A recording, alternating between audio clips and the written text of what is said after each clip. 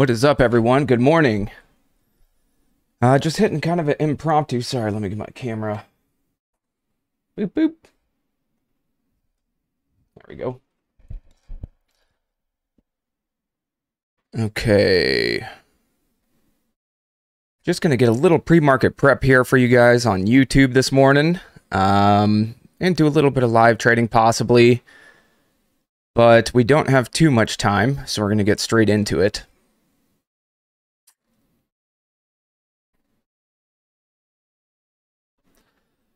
So we've got uh, theme of the morning has been bottom bouncer so far. Um, I was long AGRI overnight from like 11 cents. Um, hit that real fast. You can see kind of bottomed. This has been the theme lately, y'all. If you look at like Axla, 10 to a buck 60. Um, even if you look at CGC, ACB, some of these bottom bouncers, granted, these have a little bit of macro behind them in the weed sector at the moment. Um, I'm also long the first green day yesterday on CGC. I've got 10,000 from buck 16. Not the best average, not the worst average. Um, let's see here. One second.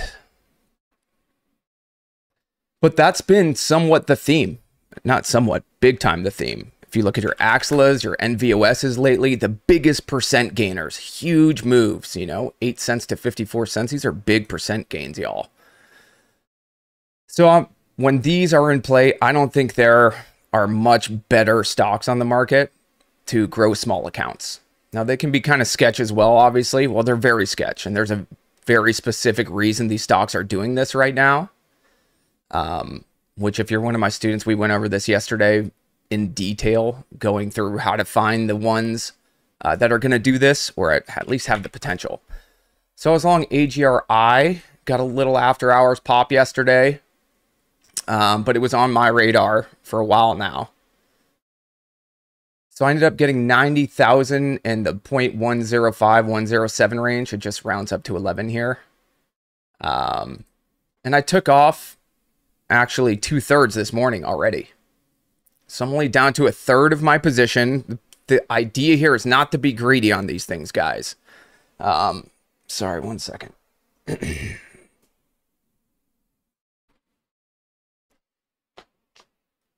idea is not to be greedy on these things, but that you can get 70, 80, 90, 100%, 200% gains overnight sometimes just by putting yourself in the right places. We'll talk about this more as the market, uh, as we get into the market open since we're so close to the market open, we're actually just going to do some live trading for you guys this morning before we head back to the Wolfpack Discord uh, to just be with my students. Let's see here. If you're down for that idea, you want me to do some live trading, smack that smack that like button for me. Make sure you're subscribed if you want to ask questions. I got the chat up here. Okay, okay.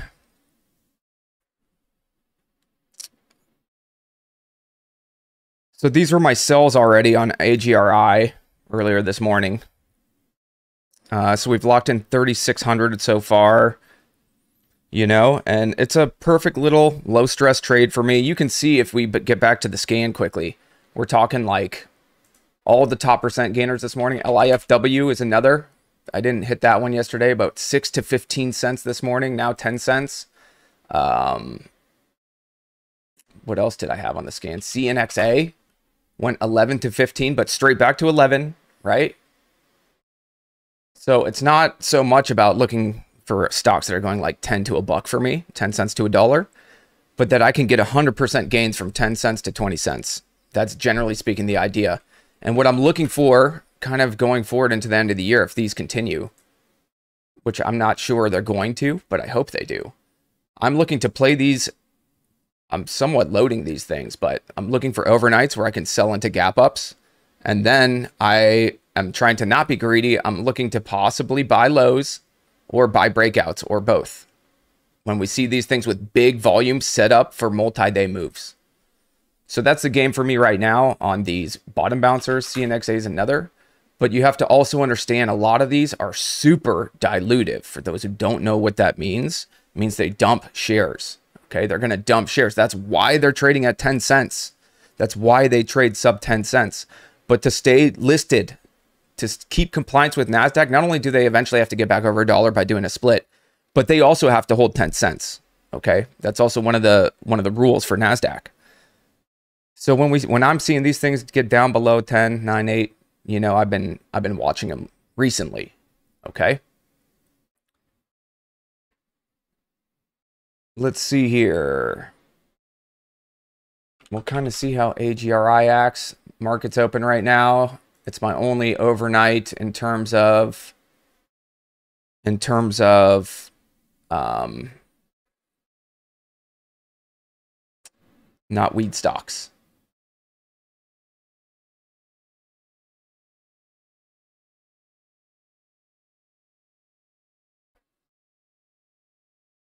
I got the chat too. If y'all have any questions at any point, holler at me.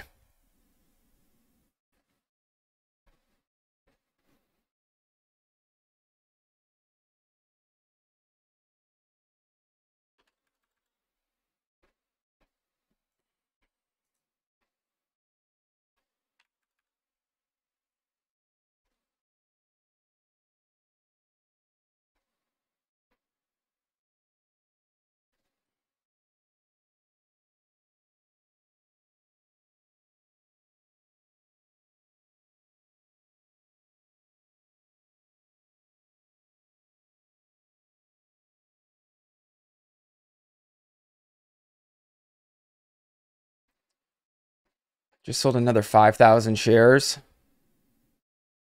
Um, just into this little morning bounce for now, down to 25,155 on AGRI.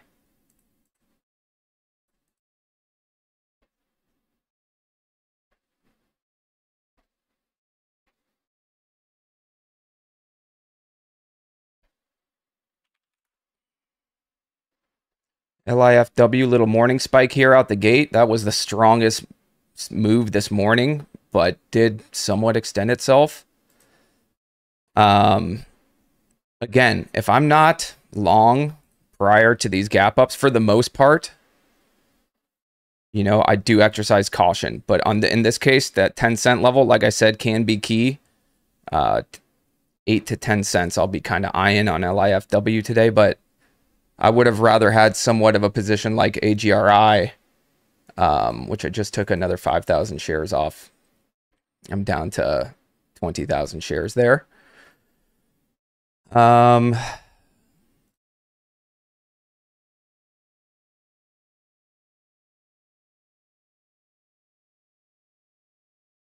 wanted to see 15 hold. 14 is ultimately going to be the risk on the rest of my shares here for AGRI, something like that.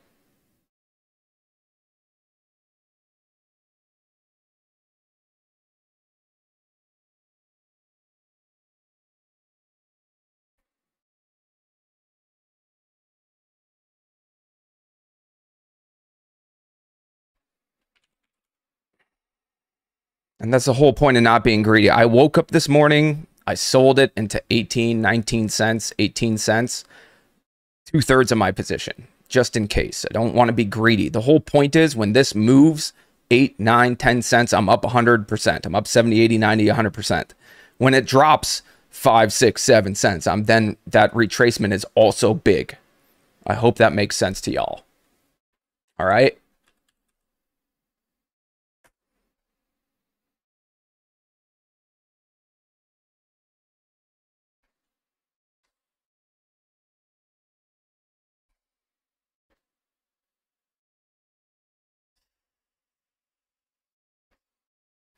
CGC weed sector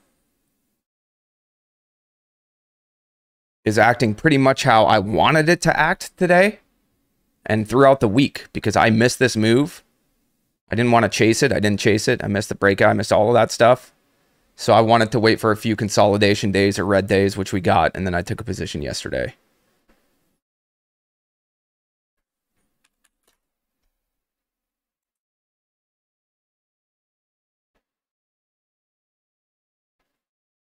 Struggling with a buck 50 for now, which isn't surprising to me.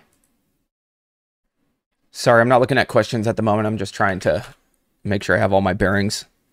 The game for me is always anyways to let things shake for 5, 10, 15 minutes or longer at times.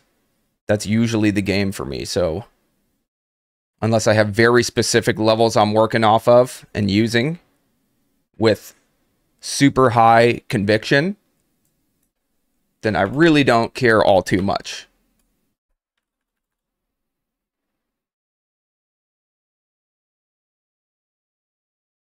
Andy said, Jack is short CGC, be careful. I literally don't give a shit.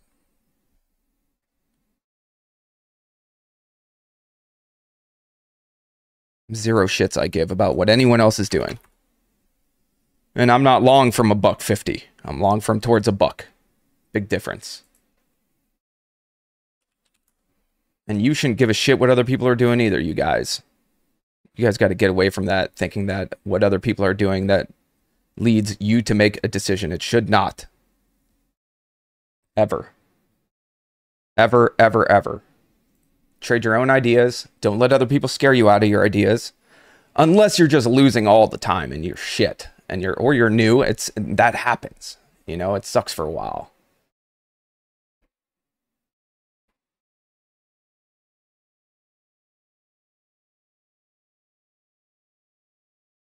Right? I locked a fifth of my CGC uh, just to lock, just to make sure I'm not being too greedy. I'm still looking for buck 90s at some point, and it, they may not come, but I'm okay with that on CGC. I had it was a really really big move and I'm not the biggest believer in the sector at the moment. If I was a bigger believer, I'd have more shares and I would have been long earlier and swinging with much more conviction at the moment. Down to 8,000 shares there.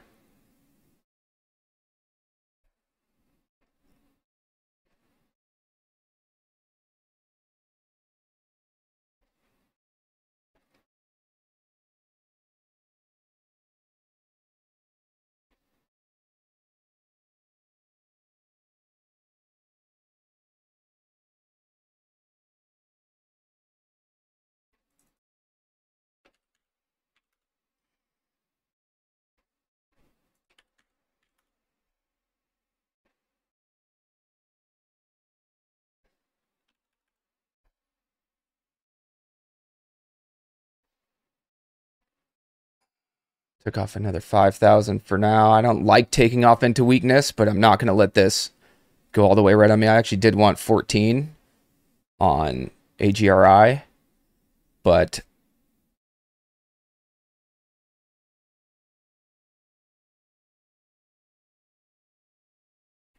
I'm now down to 15,000 shares. So I'm down to a very, very small portion of my position.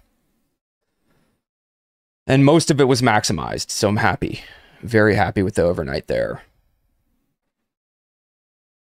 How you guys doing in pack? Y'all make any any good money on any of these?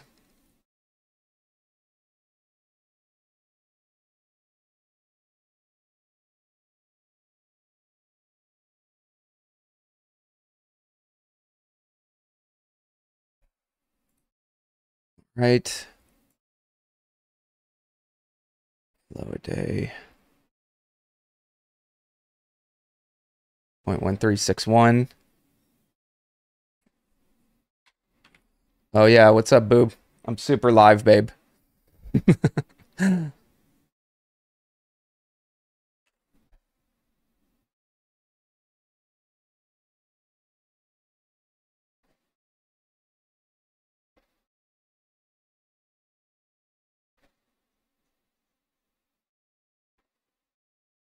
Little gap and crap reversal on AGRI for now.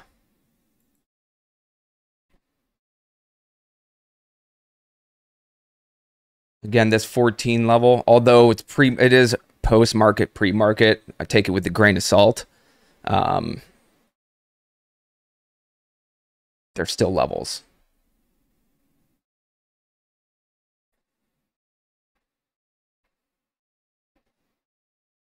Okay, losing touch, losing touch.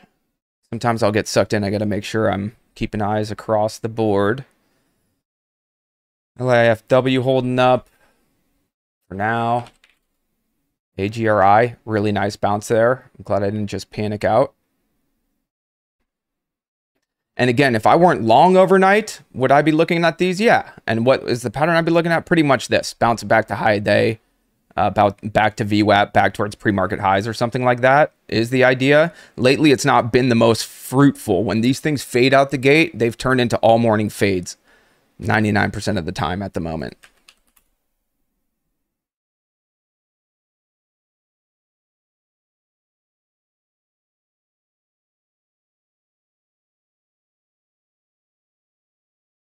Nice reversal on AGRI, back to high day. Gotta love that. Just took a few more off into high day, which is what I would be doing if I were but dip buying it this morning, but I didn't. I'm long from 11 instead.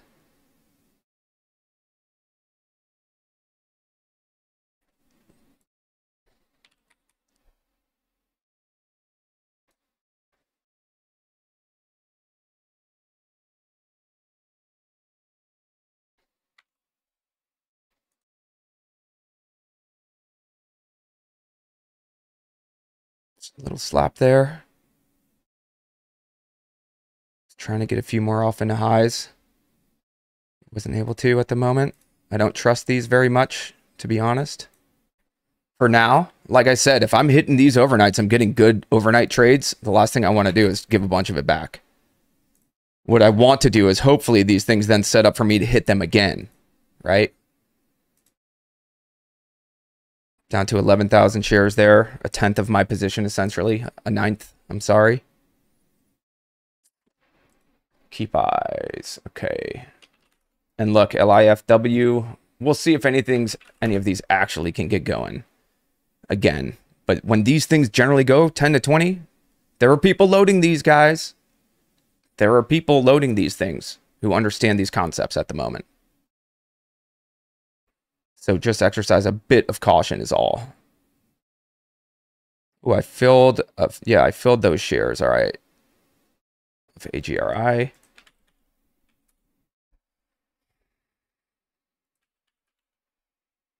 CGC back to high a day.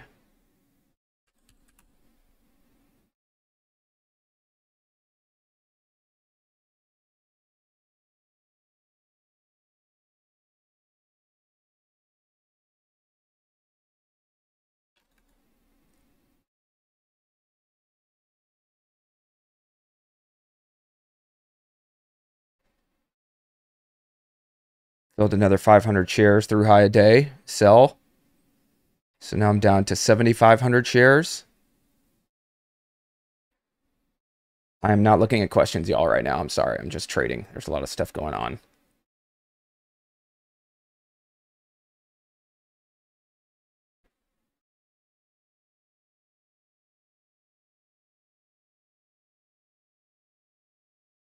KXN fresh reverse split this morning think.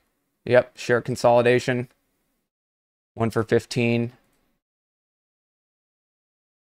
So their new float's going to be just under 10 million, it looks like, something like that, if my math is correct.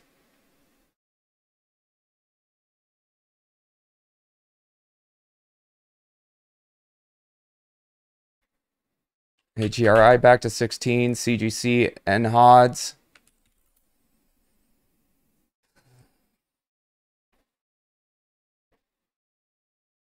There are levels to this shit.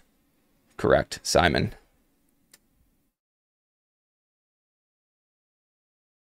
Took off another 500 into these NHODs on CGC.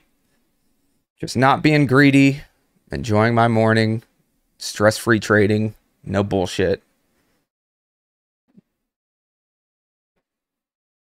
Motionless, take profits, right?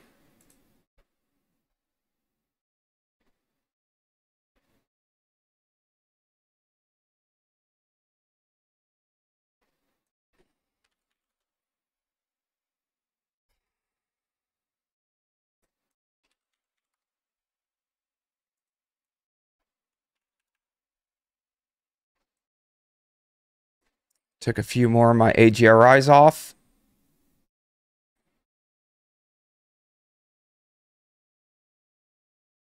Down to 9,000-ish.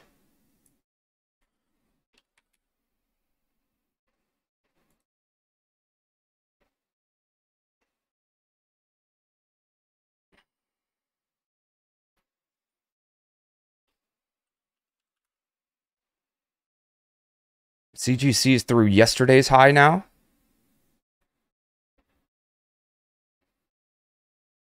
AGRI fat all pull. And that's why you lock in, my friends. Off of high of day. That's why I say we don't buy through high of day. We don't buy into high of day. We don't buy into pre-market highs. We don't buy through pre-market highs for the most part. They are all levels in which to sell at. So when I get my overnights to market open and at gap and crap reverses, I remember I still am going to sell into those levels.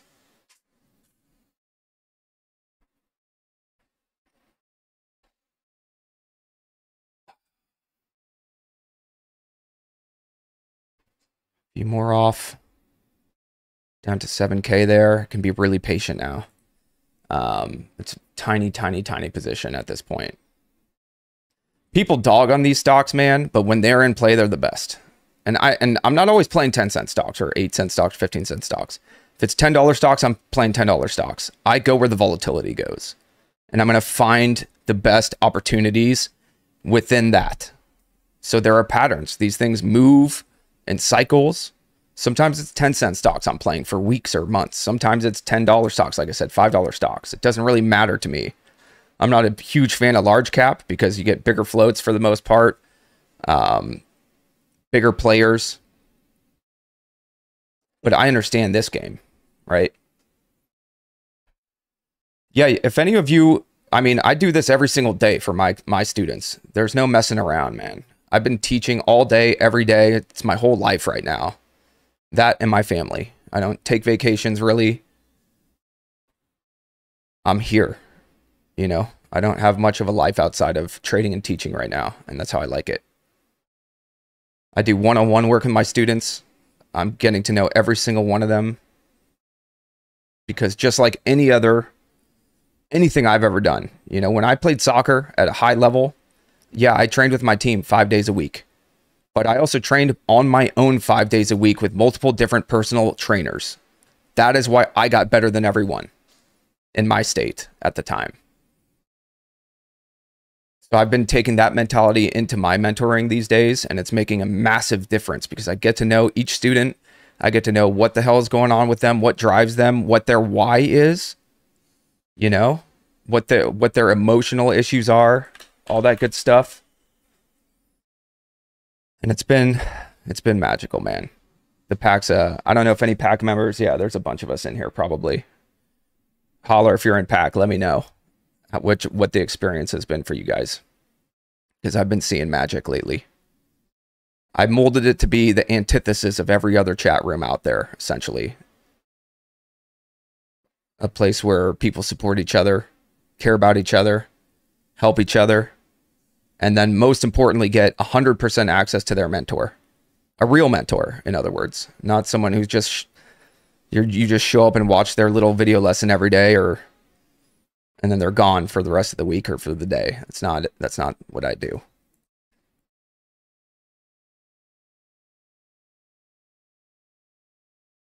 And I'm all out of AGRI for now.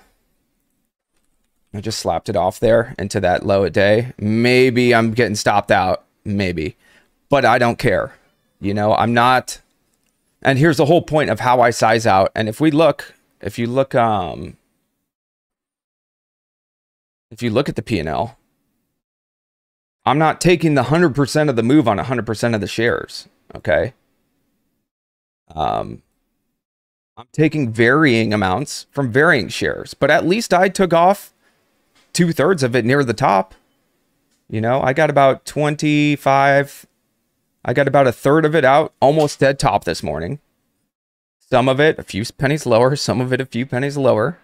But at the end of the day, I sold some up there. If I had all 90,000 shares and I had it from 11 cents and I watched it go to 20 and now it's back at 14, I'm giving up massive, massive percentage gains, guys, especially with the bottom bouncers. At least that's what you have to understand here. So AGRI is done for me.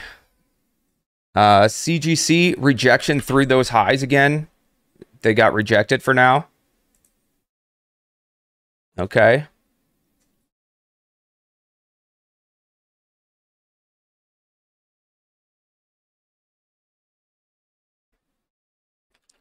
See ACB, what that one's doing.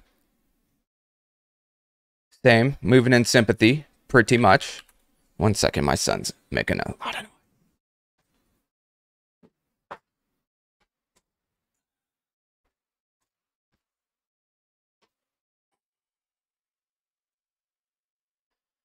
If you guys are enjoying the live stream this morning, make sure to smash that like. Make sure to subscribe. Wasn't going to do it today, but decided let's jump on and help you guys live with some patterns. So I called this a bottom bottom bouncer. It's a pattern I noticed back in 2017. Um, started tracking them back then, 2018, 2019. It's a pattern that went away in 2020, 2021 because the markets were so inflated. We had no stocks trading sub a dollar at one point in 2021. We had no sub dollar stocks. Okay. So this pattern went away. 2022's market brought it back to me. And it's been my most fruitful pattern this year. I've had 500% gains, 400% gains overnight on some of these stocks um, earlier in the year. Um, and there's just nothing better. People think you need a lot of money to make a lot of money, but when these stocks are particularly moving, you don't. And small cap in general. And people all say it's a scam, and it is. But when you know the scam, when you understand the scam, it becomes a different story. You can be part of it, in other words. You can take advantage of understanding what's going on. Um, now, CGC is a weed stock. We'll see what this thing's going to do or not do today. I've already locked some in. I feel good. Cover up, Jackie boy. I'm just kidding. He probably added. Um, let's see here. So your LIFWs. All right these stocks that are getting really, really beaten up this year in the midst of essentially somewhat of a bull market this year. Um, going back to October of last year, if you look at what we've done, pretty bullish all year, right? Um, choppy, but bullish when all is said and done.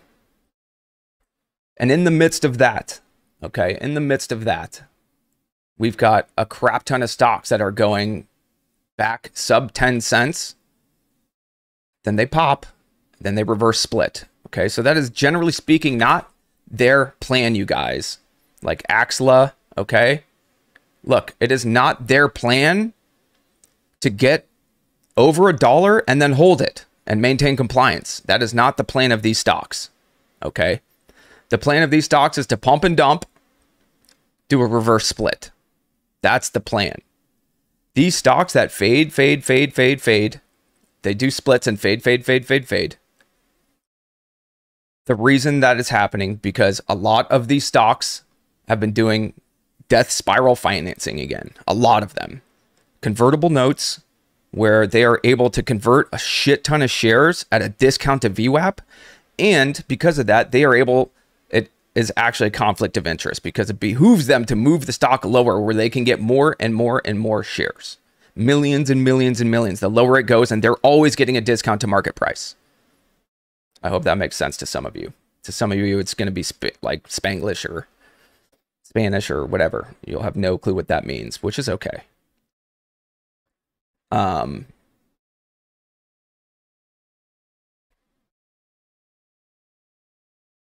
So your AGRIs, okay? All of these stocks that have getting really, really, really beaten up, that's what's going on.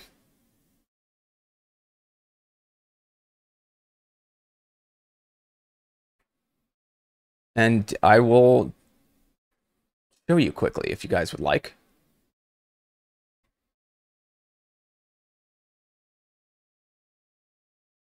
By the way, um, always zoom out So when you go to AGRI, you can see these gap ups and spikes and pulls. Okay. It reacts very similar when it gaps up on volume almost every time, at least recently. Okay. So when I was looking at this yesterday after hours and grabbing it at 11 cents here, this ultimately was my target, like 20 cents, which we got to pre market. That was the goal for me, which is why I was taking it off pre market. I want to see it hit 20 cents today. It did. This one doesn't really like to do much else, but we've seen some of these other ones go on multi days. I'm not sure AGRI is going to be one of those. Um, same with LIFW. These ones that go down to like five cents, generally speaking, and the floats start to get really big, just can't move as well. eBet comes to mind. There's another one. Um, three, four cent stock or whatever. It's not to say it can't move 100% to eight cents. If you remember that four cents is 100% there. Um, but not ideal. It's like 300 million in the float or something like that.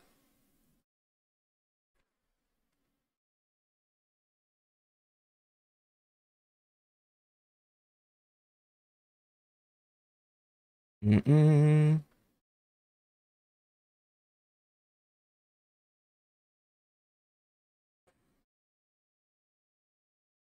Sorry, y'all. Just doing something quickly.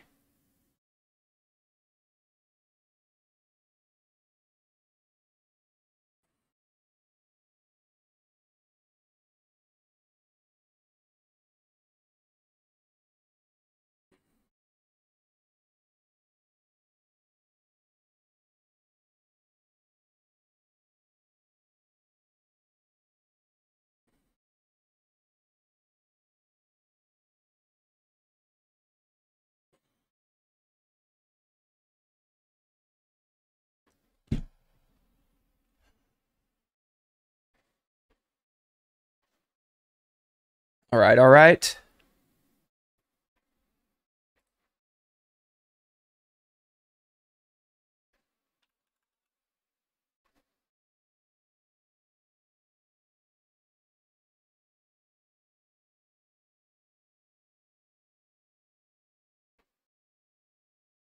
CGC uh, stopped half of my position through low of day.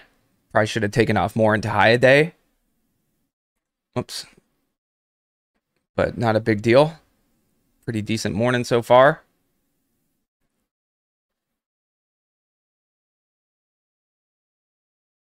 Um, what chart are we on here? Oh.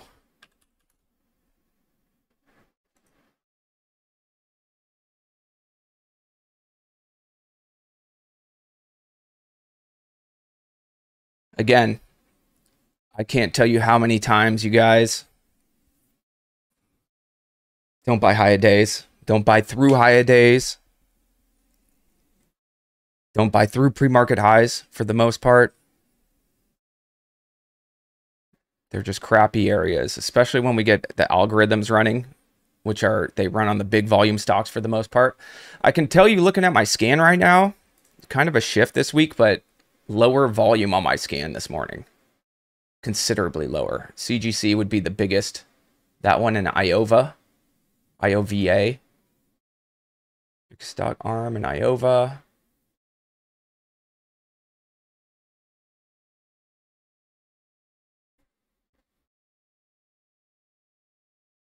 Okay, IXN split.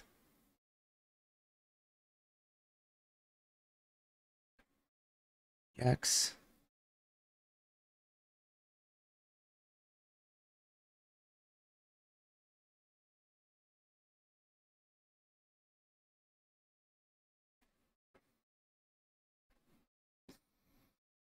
Mm.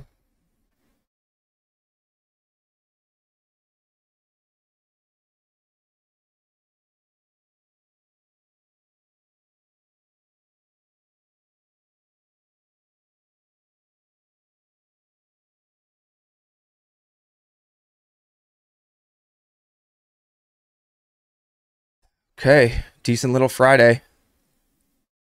Decent little Friday.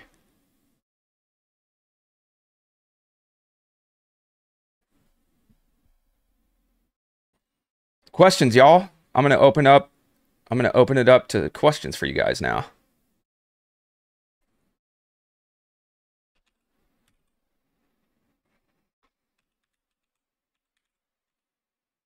I'm a bit disengaged at the moment. I'm wondering if they're going to trap CGC to the lows too and and move it back up or not, which is why I have a few shares left.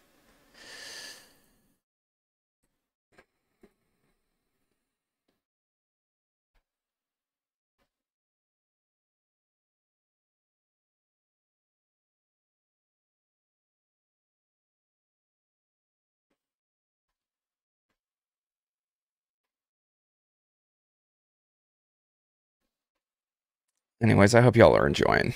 I just want to get I just want to get some of you newer traders away from a lot of the crap that's out there. That's all. It's really bad right now.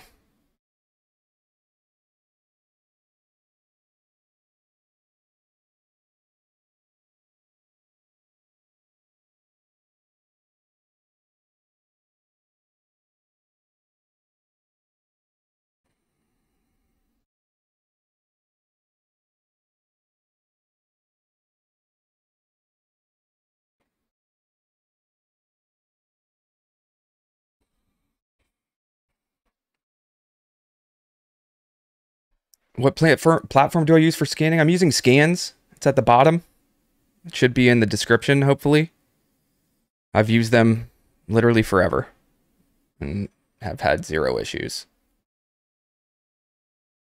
I can't trade without them, actually, to be honest. I mean, I could, but it's my favorite by far.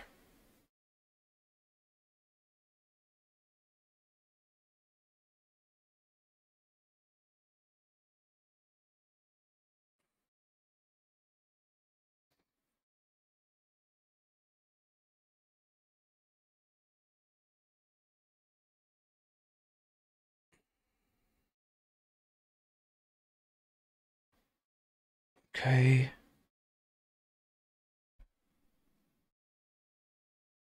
Sorry, y'all.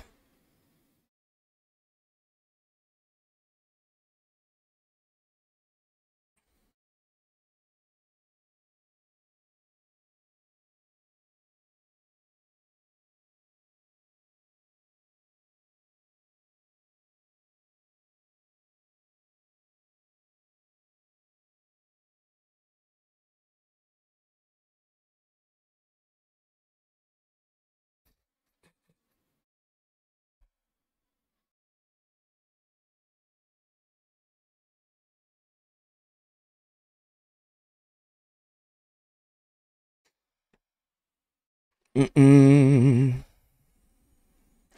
Little low holds. All right, let's get to some questions, y'all. Let's get to some of your questions. So if it hit lows, would I reload? What? CGC?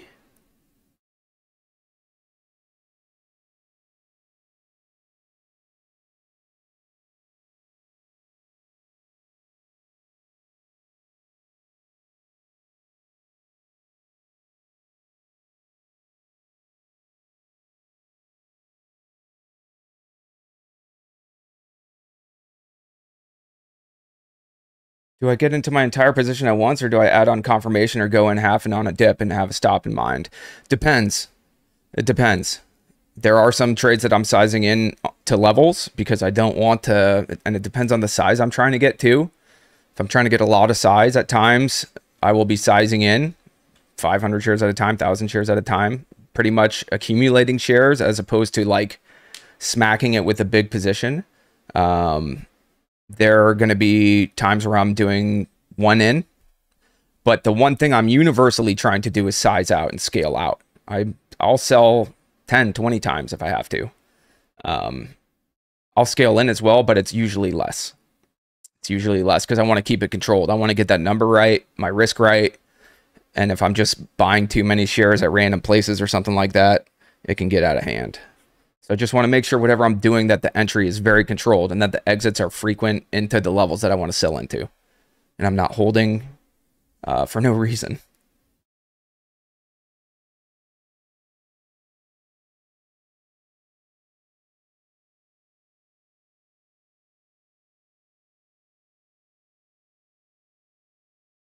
How do you get a Wolfpack hat? They're not for sale yet, man, but soon soon that we're gonna have them up on the site. Uh, all the merch that you've been seeing.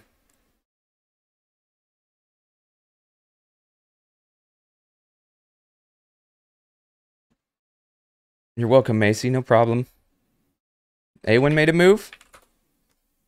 Yeah, it sure did. Look at that. Back to high a day. And that is a pretty damn perfect gap and crap reversal type looking chart to me. Dad, What's up, love? can I have chocolate milk? Yes, you can actually. Don't drink too much though, okay? Okay. Okay, don't spill either. Love you, bud. Um such a good kid. Okay. That being said, that trade would be done for me too for now. Really nice move. Those who are joining me, the idea, if you can't figure anything else out from this, and if you never join the pack and you never get mentorship from me, that's cool. Um, if you can figure out how to sell into VWAP, high of day, and pre market highs as a rule of thumb on a daily basis, you're going to be better off than 90% of these fucks who just buy high of day. And I was one of those fucks for a long time, getting fucked, being a fuck at fucky levels, okay? That was me, man. For a long time, beat my head up against the wall till I realized, you know what? I got to figure something different out.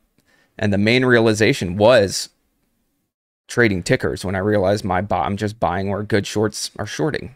And those good shorts make money in those areas and I lose money. And when I cover when they when I am going to finally like capitulate down here and sell, guess who I'm selling it to? I'm selling it to shorts who are covering profitably.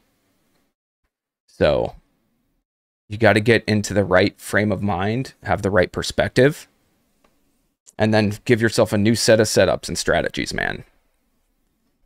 That being said, breakouts have been, though few and far between, pretty damn awesome lately, especially on these. Okay.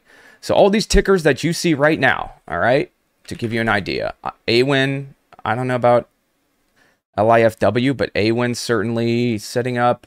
See the volume there. It's only $6 million volume is my issue. Um,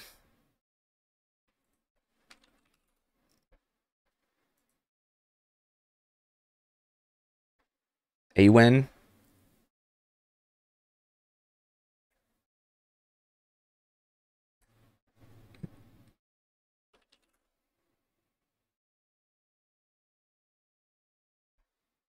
But if y'all want the juice on what's going on here, really what we have to do is um is this. Sorry. Wrong one. Where are you? There you are. All right. This is not the most fun thing to do, y'all, but it's it's pretty damn important, so we're going to do it anyways.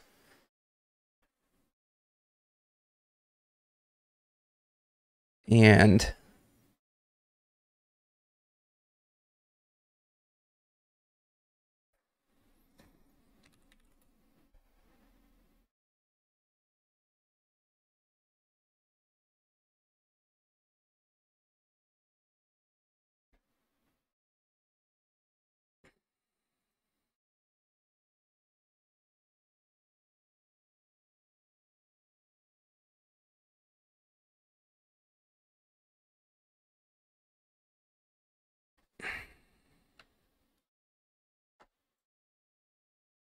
sorry, y'all. I just want to make sure that we got uh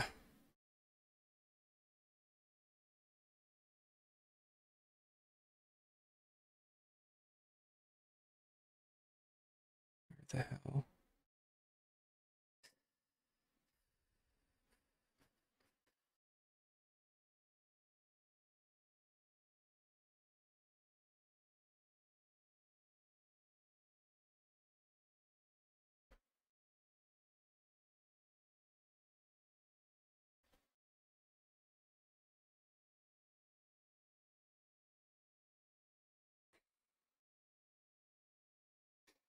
Mm-hmm. My bad, y'all.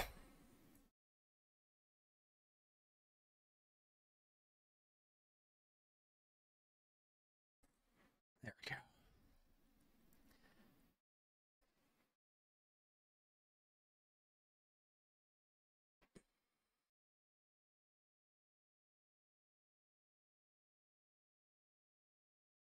Okay, so let's do this real fast. Here's the lesson for right now. AGRI, okay? AGRI, high overall risk, overhead supply high, historical high, offering ability medium, cash need is high, all right? This is the chart. It shows the shares outstanding and then what it looks like diluted. And you can see they're diluting a huge portion of their float. Okay. They've got pre funded warrants issued in merger. 4.8 outstanding with an exercise price of a penny. 12 cent exercise on 4.1 million shares here with full ratchet protection. Which means that if they do another round, another offering lower than their price, their conversion prices, their exercise prices also get reduced, right? Let's see if they got convertibles. They do. 108 million shares to be converted at a conversion price of 12 cents. Full ratchet as well and an ATM. So that's what's going on. They're pretty damn dilutive at all these lower prices on LIFW.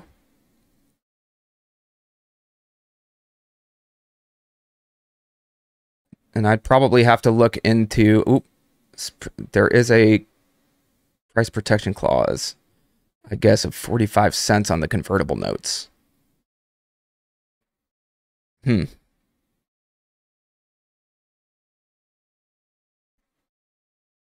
So that's something where I'd have to probably go look at the actual prospectus, check check it out, see exactly what the language is. So that's that one. Let's look at a couple of the other ones that are on the list right now. Actually, let's look at like, so Axla, that is not one of the ones that I was thinking of. I believe NVOS is. You can see what's happened to their float over the lot since 1231. 331, it went up to 144 mil. And then another 20 mil on top of that. S1 offering, 50 cent warrants, 4 million outstanding. 335, 2.6 million outstanding, 25 cent convertible note not registered yet.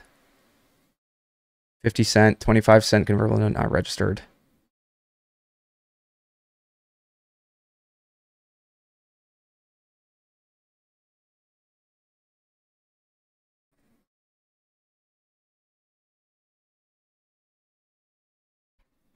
Let's hit some of these from today just to see LIFW. Not too bad, it looks like, but warrants, SPAC warrants. October 22 issued to reduce 63 million in debt.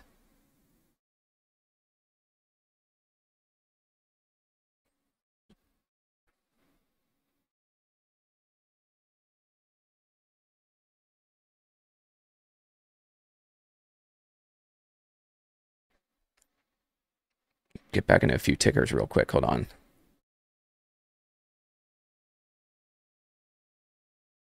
Okay, so we'll see what these things do. Like I said, they're garbage. Most of them are super dilutive. They're going to go back to where they came from. They're going to split.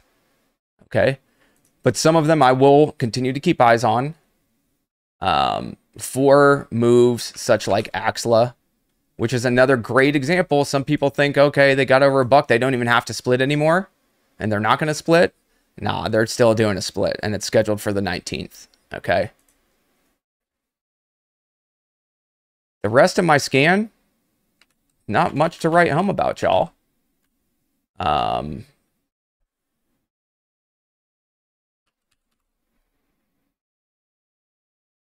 CGC is honestly doing exactly what I would want this to do going into next week if it's going to set up for a breakout next week and if the sector is going to continue to be strong. Um, I don't trust the sector, like I said, but I've already hit the first Green Day bounce overnight. I've only got a fifth of my position left. I've locked in the rest of my shares on AGRI. That position's done. Um, like I said, four fifths of my CGC. So it's a decent little Friday. 6,700 or so.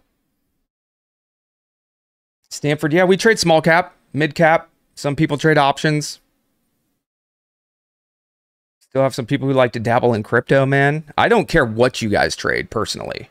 I think trading is trading is trading personally. Of course, the markets are different. The nuances and you know all the different things about the markets are different, but the actual trading and the psychology of trading does not change across across any instrument or market in my opinion. It's human nature, human psychology that does not change. If you are buying and selling products or any sort of asset or any sort of instrument that trades on an open market, there is going to be the same emotion because we are all wired the same for the most part. It does not change. That's my experience.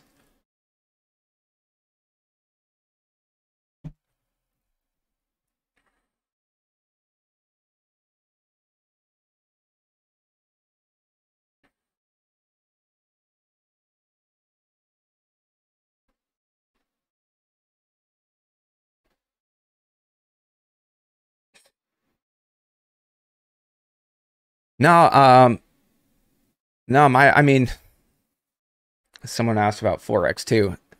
I don't, um, so my opinions, there are good Forex traders out there, no doubt.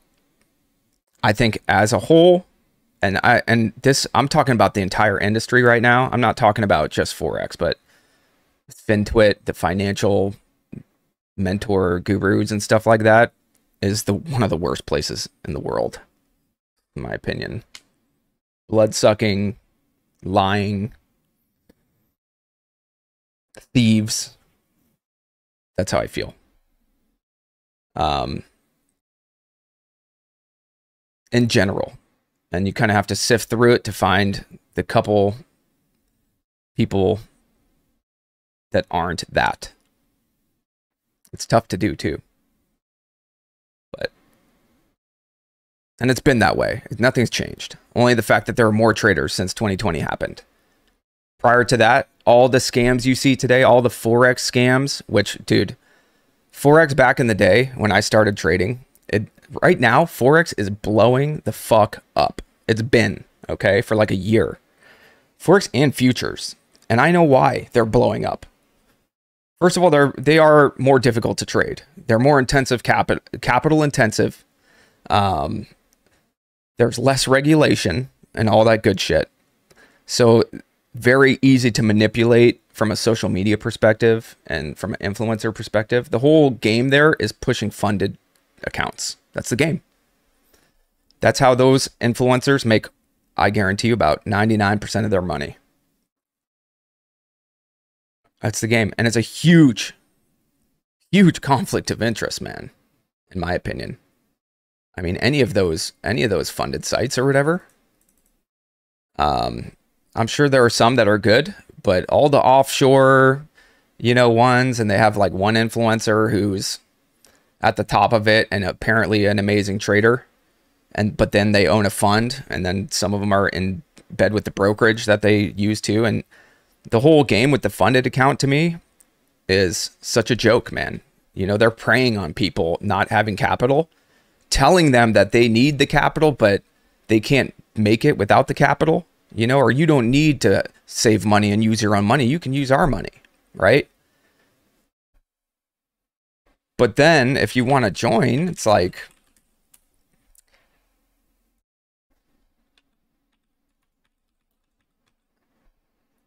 if you want to join and you want to do it, you got to pay them like however much money to take a challenge to paper fucking trade, okay? To paper trade.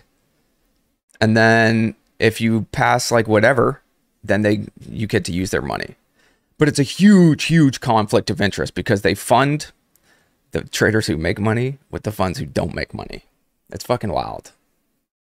In other words, it behooves them to have everyone who's signing up and taking these challenges and even the ones who get funded to fail and if anyone knows anything about what goes on in Forex, which I follow all the markets, all the different instruments very carefully on social media these days. I never used to because I just, it made me sick to watch all this shit. But now I watch it. And, um, yeah, I mean, here's an example. We'll go to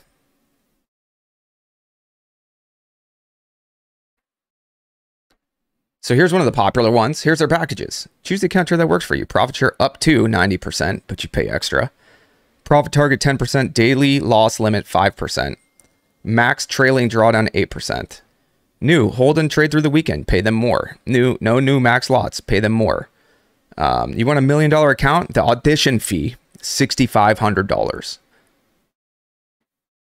You know what I could do with $6,500 in small cap in a month? I could get right over PDT. I could get easily, you know, to some of these numbers. So it's kind of crazy. Uh,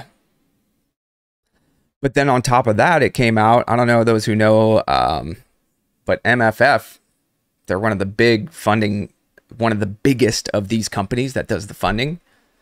They just got busted recently for basically being a Ponzi scheme, which is what I've been saying the whole time. You know, people lose and you take that money and give it to the people that that are winning, which are very few and far between. It's it's brilliant. I mean, it's brilliant. 90% of traders fail, so why not just give us your money? Take this audition. You can't even do it with paper money. And then if you make it with your paper money and you get your account, they're banking that guess what? You're going to draw down anyways and lose that account. Because you get the million, but then if you get that you hit that max drawdown, they take it from you. Right? Because they don't want traders to have with a million dollars of their money that they, they only put up $8,500 for.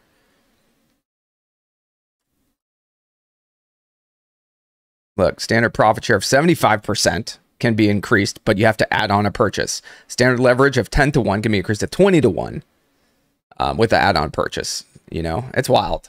To me, it's wild, that whole thing. And it's just a big conflict of interest.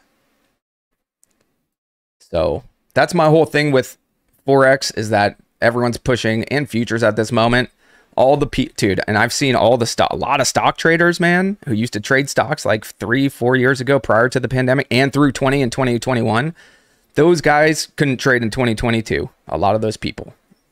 And then they, a lot of the influencers at least switched to places where they can push funded accounts. That's been what I've seen as a trend, which is fine, man. To each their own, you know, content creator wise, but I'm not a fan. I'm not a big fan of it.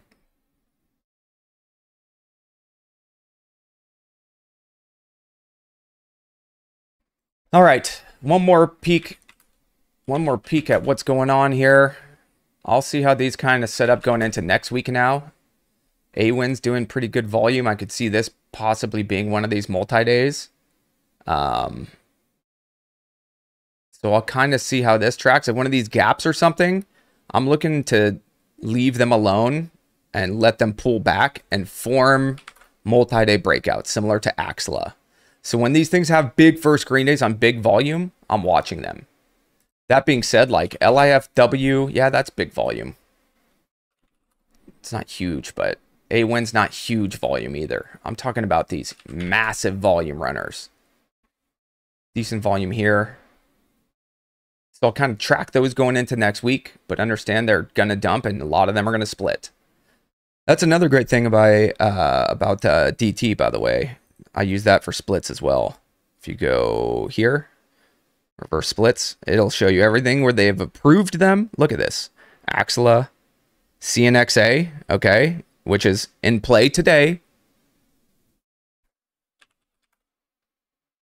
CNXA, which, you know, was in play, but they're definitely doing a split. We know this. Um, you can go down here. Look at all these splits coming, man. All of these tickers. That's what I'm saying. We've been in like a weird bull market, but all these tickers are going under a buck and they all need to split. These are upcoming splits. These are the ones that are just complete. ASTR just did one, AVGR, DNTH, AMPE, um, ASTY. WeWork, obviously. I missed this reverse split pump, unfortunately. They didn't even pump it, have to pump it, but I missed the base and the swing on this. Phenomenal move.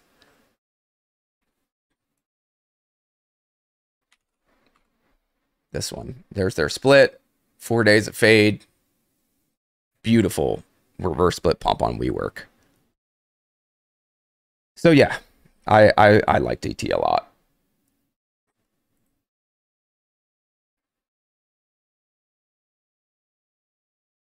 What time is it? We're an hour into market open. That's just about it for me. Um, especially on a Friday. perfect Friday morning.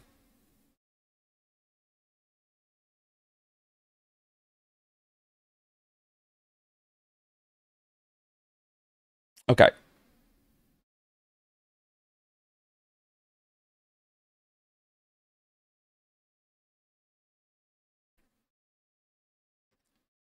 Futures, I know some really good futures traders. I've I personally find futures to be a little bit uh a little bit more viable in terms of some of the legitimacy of some of the traders there. But it doesn't matter, dude. It doesn't really matter. Stocks, Forex, crypto, futures, options. 99% of the people are fake and sketch as fuck these days, especially. And the problem is, if you're a new trader, if you don't know anything, you just don't know anything, man.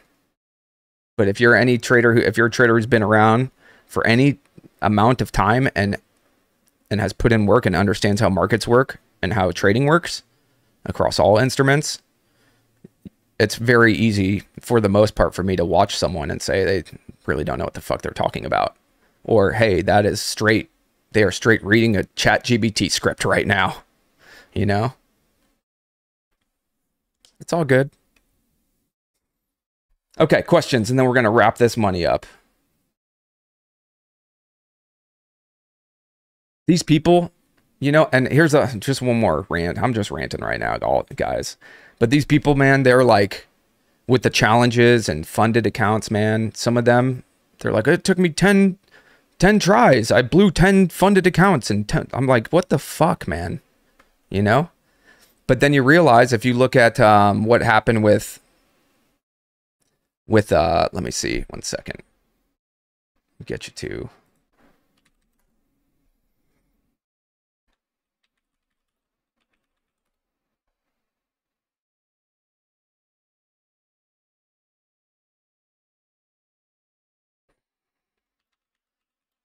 So the company was called My Forex Funds. Um,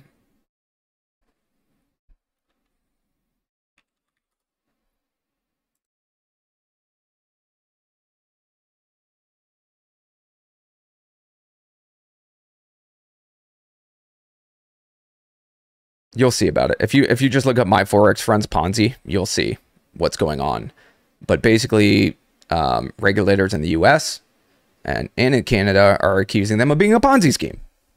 And not only that, manipulating, dude, straight manipulating the spreads, putting their traders at a disadvantage, giving them slippage. Straight up, it's fucked up, dude. And they were one of the biggest. So you can't tell me that they were not the model of every other fund out there. That's how I feel about that. I, I look at the, these funded these funds and so 310 million they made in like two years, dude. And they and I promise you, the game is not make good traders.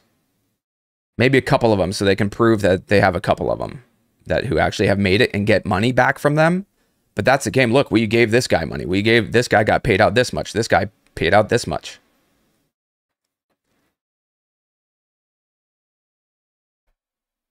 So what's the risk there? Well, imagine if you were a person who got funded and then built your account and weren't getting payouts from them, just building your account. Well, all those funds are frozen and shit. So, anyways, enough about that. Let's get back to relevant shit. I've just been getting a lot of questions lately about it. People have been asking me all the time and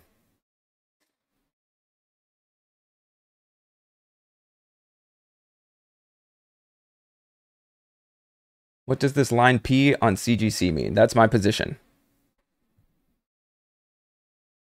That's just my position. And I don't trade my P&L, so I don't look, I, I don't really peek at that, really. I don't care what the P&L number is. It's just a line for me so I can know where my position is.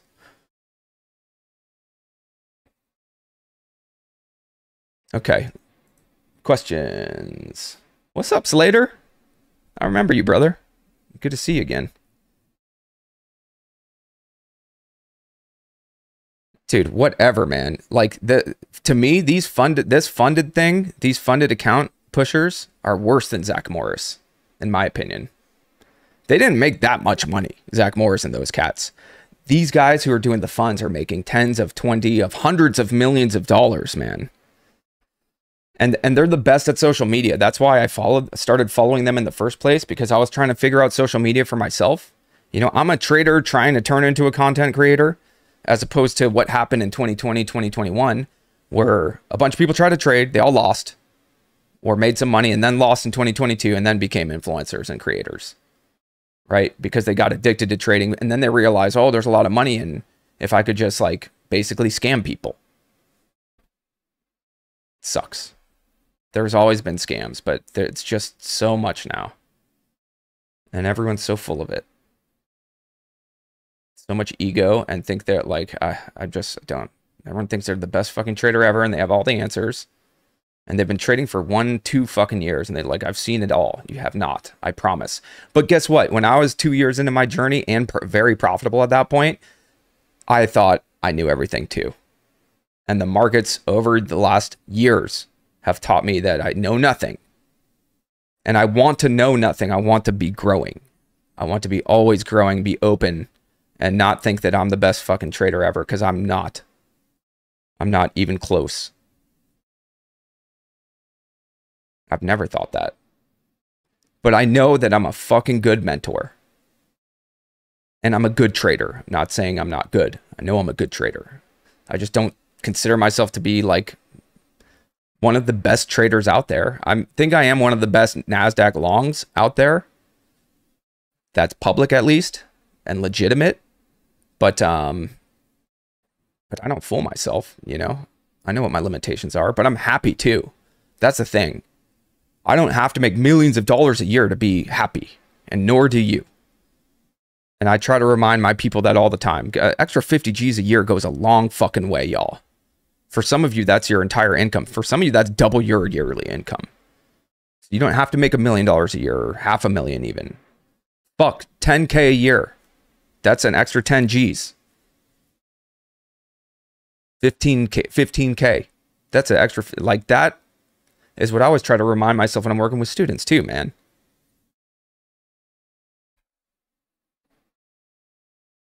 You're joking, right, Stanford? I really hope you're fucking joking. Um, I won't dog on anyone publicly. I don't say names. It's not my game. Now, if you become one of my personal students, I don't hold back any information from them.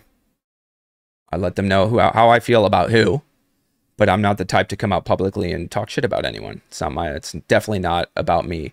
I just don't want people who come to me and want to learn and want real advice, I will never steer them in a direction that I believe to be shitty. That's all.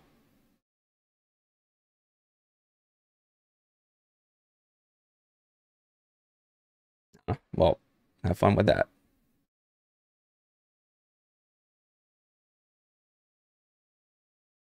Can I explain how and why I found my overnights and why I bought AGRI? Yes. So, anytime I'm looking for the next runner, all right? Anytime I'm looking for the next runner, the main question you have to ask yourself is what has been moving lately the most? What has been the most volatile lately, bringing in the most volume, moving the most? And the answer is pretty simple. Over the last month, it's been strictly bottom bouncers, some reverse splits, and a few SPACs or IPOs. Okay couple uplistings too. Those have been the most volatile in terms of my scans every single day. And I scan every single day. I've been doing it for eight years. Okay. This scan right here, I've been looking at it for eight years and the top percent gainers, and I got no cap on it. Okay. Anyone who says they have proprietary trading strategy, tell them to shove it up their ass. I'm, I'm sorry, proprietary scanning software, whatever, scanning metrics. Fuck that. You don't need it this is what I do. I scan for everything. And then when I want to eliminate a bunch of plays and see what's in play from a volume perspective, I'll just throw it up to like half a million or a million. Percent change five. That's it. Okay. Looking at this scan forever. Top percent gainers are always small cap. It just is what it is. In this case, over the last few weeks, the biggest runners and the best plays from a multi day, multi week perspective have been bottom bouncers moving from 10 cents. AXLA um, what else? NVOS, NVOS, um, Axla. Axla. Um, VTX? AVTX last few days. Just going by memory here. Um, that is why. Okay. That is why right now, when I look at my scan in the morning, I'm looking for 10 cent stocks. When I'm looking at my scan throughout the day, I'm looking for 10 cent stocks. And for those who want to know, and this, I'm giving, I'm just not gatekeeping right now, y'all. And if you're appreciating the lack of fucking gatekeeping right now, please smash the like button. Please subscribe, man. Um, I am here to get you guys better information on YouTube than is currently on it about trading small cap in particular. But this cuts across all trading, man. I don't care if you're trading mid cap or what you're trading. Same shit applies in terms of buying low, selling high, getting ahead of the crowd, understanding where volume's going to go, selling to people like uh, some of the people that you guys are mentioning. I sell to those people when they're chasing it and all their students when they alert it to them. That's the whole thing, man. That's my whole MO. It's always been that. And it's been more so that forever. And now I've got my students selling to other people's students too. I have my students beating me to entries and selling selling to other people's students the same way I am and nothing makes me fucking happier. And that's why I'm trying to bring more people in and I'm trying to get people away from so much of the other shit out there, man. Fuck. I get really mad, man, because I watch all day. I have to so I haven't taken in like YouTube or any sort of educational stuff outside of me tapping into the resources that I have available to me, which are some of the best traders in the world that I can call at any point. Um, that's where I learned the most from these days. Several old books. I've been getting into some older value investing type things, other ideas that are helping my day trading, by the way. If you think investing and day trading aren't the same, there are so many similarities, man. If you can buy low, sell high, you can buy low, sell high anywhere. That's my belief. If you can figure this game out. So, okay, let's go. So we got our scan here. Um, I am trading 10 cent stocks right now because those have been the most volatile. I don't overcomplicate the shit when you're trying to find stocks that can run. Okay. Go to my scan. I did this exact thing yesterday with the Wolfpack, right? and it's a video lesson for them. So enjoy this. Again, the lack of gatekeeping this morning. Filters. Highest price. 20 cents. Percent change. Zero. Volume. Zero. That's it. Boom. Hit me with it. This is what I got. Let's start with the cheapest first. The most expensive first, and we'll go down to the cheapest. 20 cent stocks. We got a bunch of these here. First of all, we got how many on on this? Uh, we got 70 something tickers or something like that under a buck now. Uh, under 30 cents, I'm sorry. 20 cents, I'm sorry. And then for me, what actually what I've been doing is even less because I know it has been these 10, 8 cent stocks, right? This is literally all I did yesterday. Went, checked it out, filtered by the lowest, looking at the smallest market caps, those are probably going to move the most. We got CNXA, like I said, LIFW, EJH, ignore those, ignore those, WNW, Gamble, GMBL, RVLP, which I'm long that. Uh, I have a small position on that. SXTC, that's all I did. I went and looked at the cheapest stocks yesterday, and guess what? They all gapped up big this morning. I didn't buy them until I didn't. Okay, so let's see. Where's AGRI now? AGRI is at 13 cents. Where are you? There's AGRI. All right. But yesterday, this was up here as one of the cheapest stocks. It's like 10 cents. This doesn't mean I'm just buying all the 10 cent stocks and letting them go. But it means I'm going here to look at tickers and see what may or may not go, to then go through dilution tracker and see what's going on with their dilution at the moment, um, and all that good stuff. So AGRI popped here. We went through all these tickers yesterday in my chat in the Discord. Um, AGRI, I bought literally right here yesterday. And then I bought some on the pool yesterday. Right up in here. That was it. There was nothing to this trade, y'all, other than understanding where volume can go. And then understanding that I don't want to chase it when it's up 100%. I want to sell it when I'm up 100%. When everyone's trying to figure out how to fucking get into AGRI this morning, you know, here and here and fucking up here and here and here and here. I was just selling shares. I was just selling shares. Okay.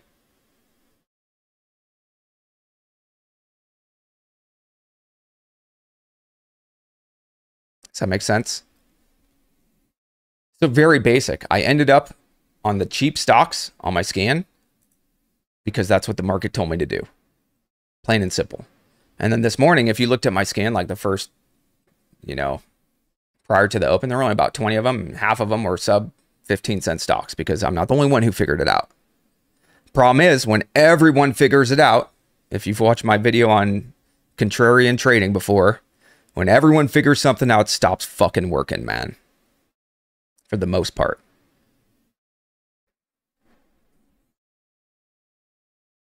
What else? Let's talk about so that's so that's macro guys. I let the macro dictate what stocks I look at. If if all I've been seeing last week, or if maybe on Monday we get a biotech that's trades at five dollars, then gaps up to seven on phase two news, and then spikes to like 20 bucks, okay? I will immediately shift gears from looking for 10 cent stocks to looking for five dollar fucking biotechs. That's that simple. That is the mentality that has kept me from having FOMO and kept me adapting and finding the next one and finding the next one and finding the next one, as opposed to like just being stuck in last week's shit or yesterday's patterns. I adapt. That's and I keep it simple, man. We get a huge runner. Okay, break it down. What is it? Oh, it's a biotech. It's a five dollar biotech that went to seven, spiked to. Okay. Um, well, what kind of drug do they have? What was their float? What country are they from? Seriously, any of these things you can ask yourself. And then and then I go to my scan. And if it were a $5 biotech, what would I do? Oh, well, I would probably do something like this.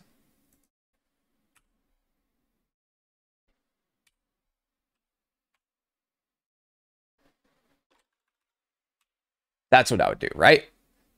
So if we had a $5 biotech that was just going berserk, up 200%, 300% on phase news. This is what I would do. I'd hit my filters. I'd change these filters around. Boom, boom, boom. That spits out 12 stocks. Now, in that case, if that were the case, um, then I would start breaking them down. You know, which one has a similar float? Is there one maybe with a similar drug, similar chart, right? That sort of thing. Keep it very simple. So that's what I do when I'm scanning all day. I'm not just sitting here. There's no, I don't need the scan to tell me what the, I don't need someone else's parameters and all the shit. I just need to be able to narrow it down. You need to know what you're looking for in your scan. Everyone just gets their scan and fucking lets it tell them what, and then they just have 20, 30 stocks to trade. They don't know what to do, which is fine. For me, I use macro. What's been running lately, I use that to then get my eyes in the right fucking places, man which is a big part of this game. Big, huge part of this game. So right now, this morning, I was looking for 10 cent stocks. Next week, it might be $20 fucking stocks, man. I don't care. Okay.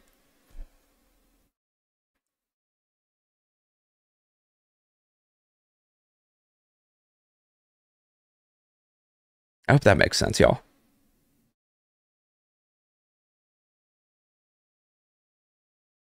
This shit's private, man. I I've only done this for my students forever because that's who I care about. I really care about them too. It's not like and the more I've been working with them one on one, the more personal this mission has become. That's why I'm on YouTube right now. I watch I watch these cats get to me after trading for two fucking years or three years and spending 10 G's, 15 G's 20 fucking thousand dollars on education and they know fucking nothing, man. Nothing.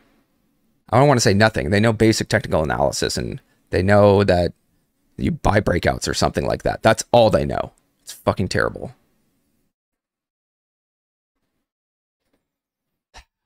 Sorry about the rants this morning. I just been taking in so much social media and so many YouTubes.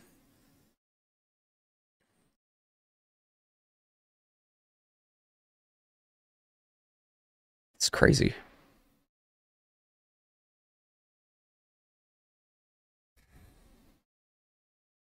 Today, the only one I hit was AGRI. It's the only one I got overnight from 11 cents. I sold it into 18 and 19 pre-market and then a little bit into weakness too. The last bit of shares into weakness this morning.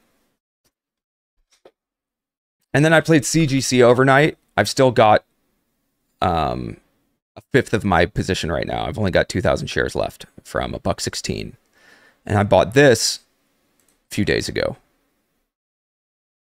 Uh, this day, at the end of the day, when it bounced. Specifically, right.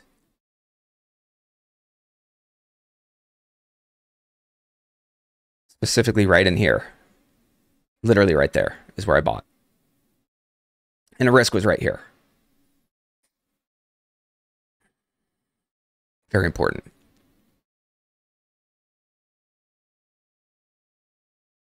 Anyways, y'all, um, I think we're gonna pretty much wrap up.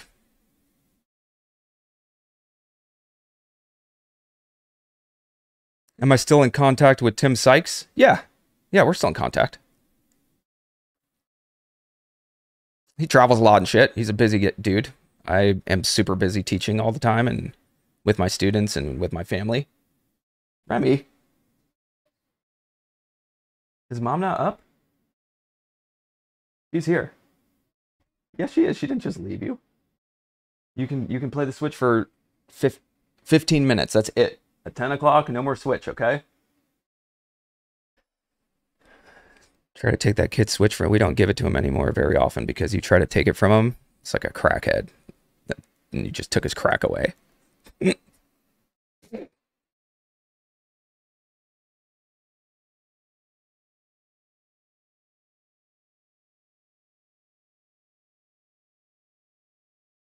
I'll tell you what, um, I'll give you one more piece of advice before I check out.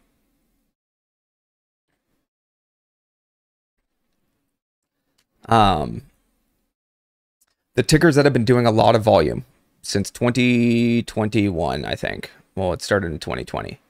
But we saw the rise of HFTs and small cap. They weren't around before, I'm I'm sure of it, from how stocks used to trade prior to 2020.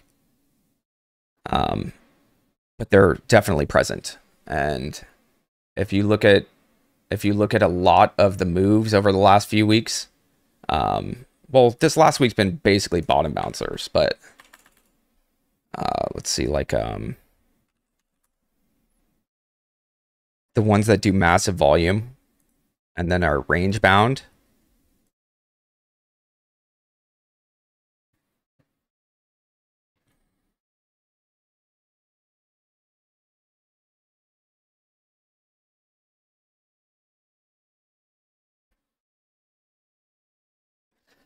What I'll say is the stocks that trade a shit ton of volume, okay, some of these gappers, um, from a pattern perspective, they've been predictable, man. They've been predictable. They are taking liquidity at key levels. They're taking it. They're taking it and then reversing it. That's why shorts are so twisted lately for the last like year, a lot of them. Um, and longs have fucking sucked too for people who haven't figured this thing out of what's been happening. It's been happening. Um, they take pre-market highs. If they, get pre-market highs or a new high day, they flip it and they reverse it there. And you'll see liquidity come in th in these levels. Uh, VWAP as well. They like to fuck with VWAP. They break VWAP down. I don't use VWAP as risk.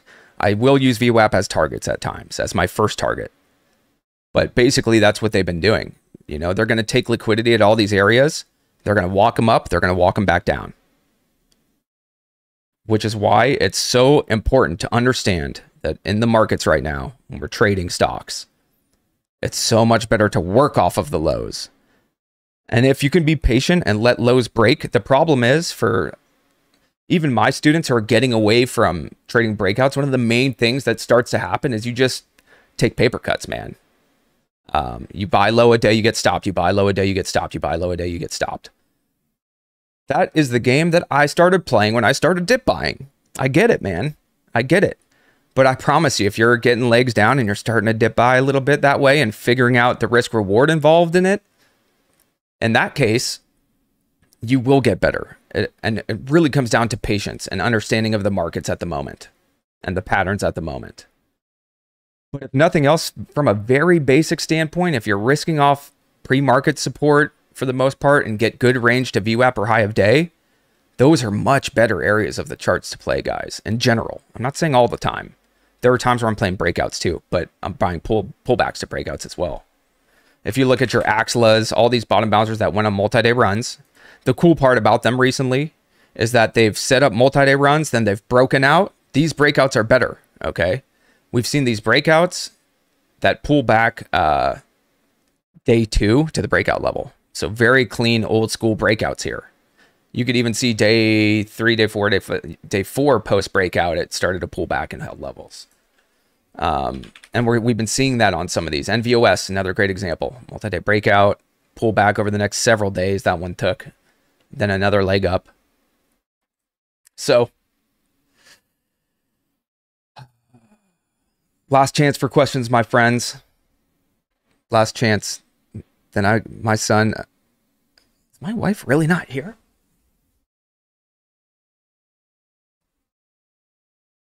What? Where'd she go? Um, you can scan the QR code. That QR code at the bottom uh, will take you straight to the Wolfpack, man. And if you use 20 off, you get 20% off monthly. Um, for what, and then for the one-on-ones portion, um, it's basically through interview only at this moment. My whole deal with that is that I'm spending at this point 15 to 20 hours of my week talking with students, dude, one on one. 15 to 20 hours of my week. That's like one full fucking day of my life every week right now that I am giving to my students. Um, I don't want to give it to people who aren't serious at the end of the day. So that's my whole game. You know, I, I've I'm giving my all to the people who want to give their all with me right now. It's kind of a special thing going on. And for the next however long I can manage to hold up this pace of like 15, 18 hour work days again. And um, as long as I can hold the pace, I'm going to fucking hold this pace, dude. And crank it up.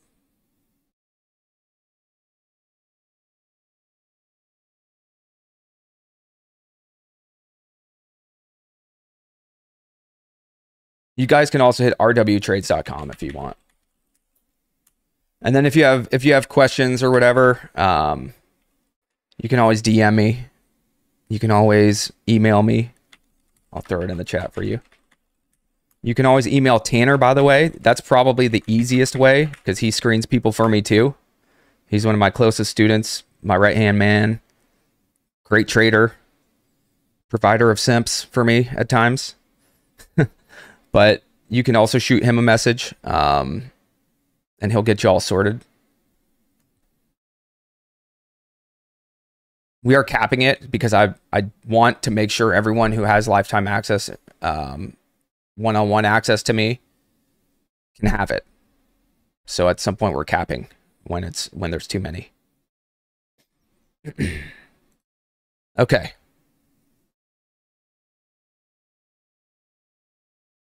What do we do?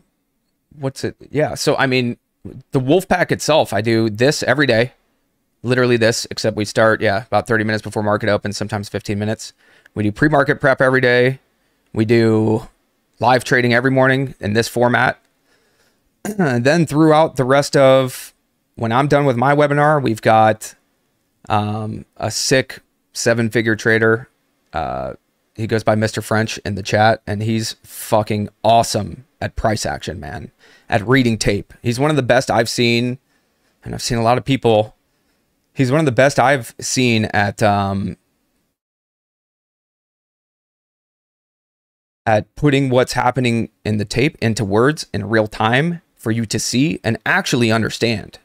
Actually see it, not just bullshit like, oh, there's some soaking here, but actually explaining it and showing you algorithmic um, trading, really explaining how the algor- algorithms work. He actually worked um, for a couple big companies that ran algorithms.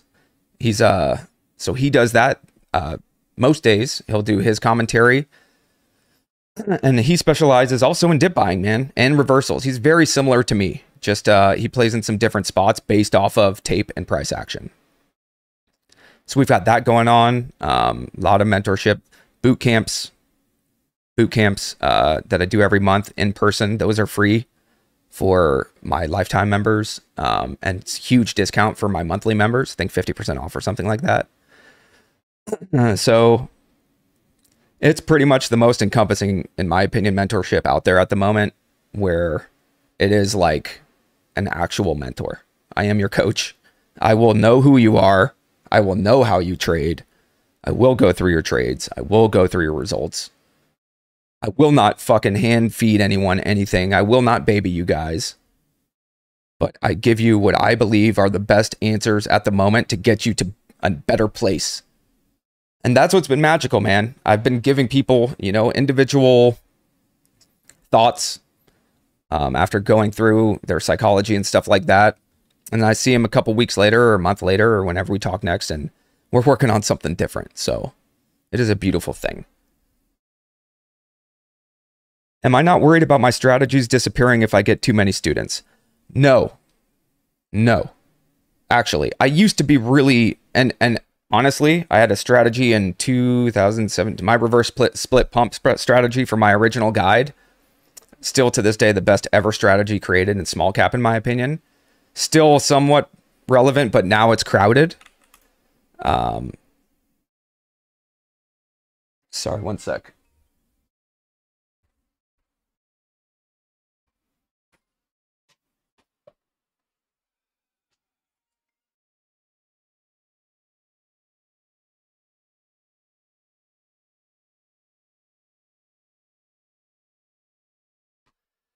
That strategy was was uh, taken and put on YouTube a long time ago, and the video blew up, and the strategy changed forever.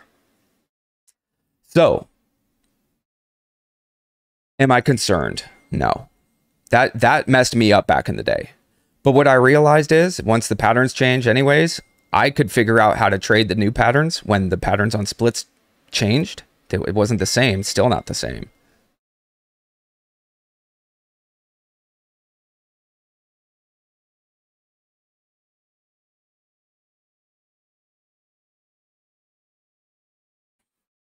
Sorry, y'all.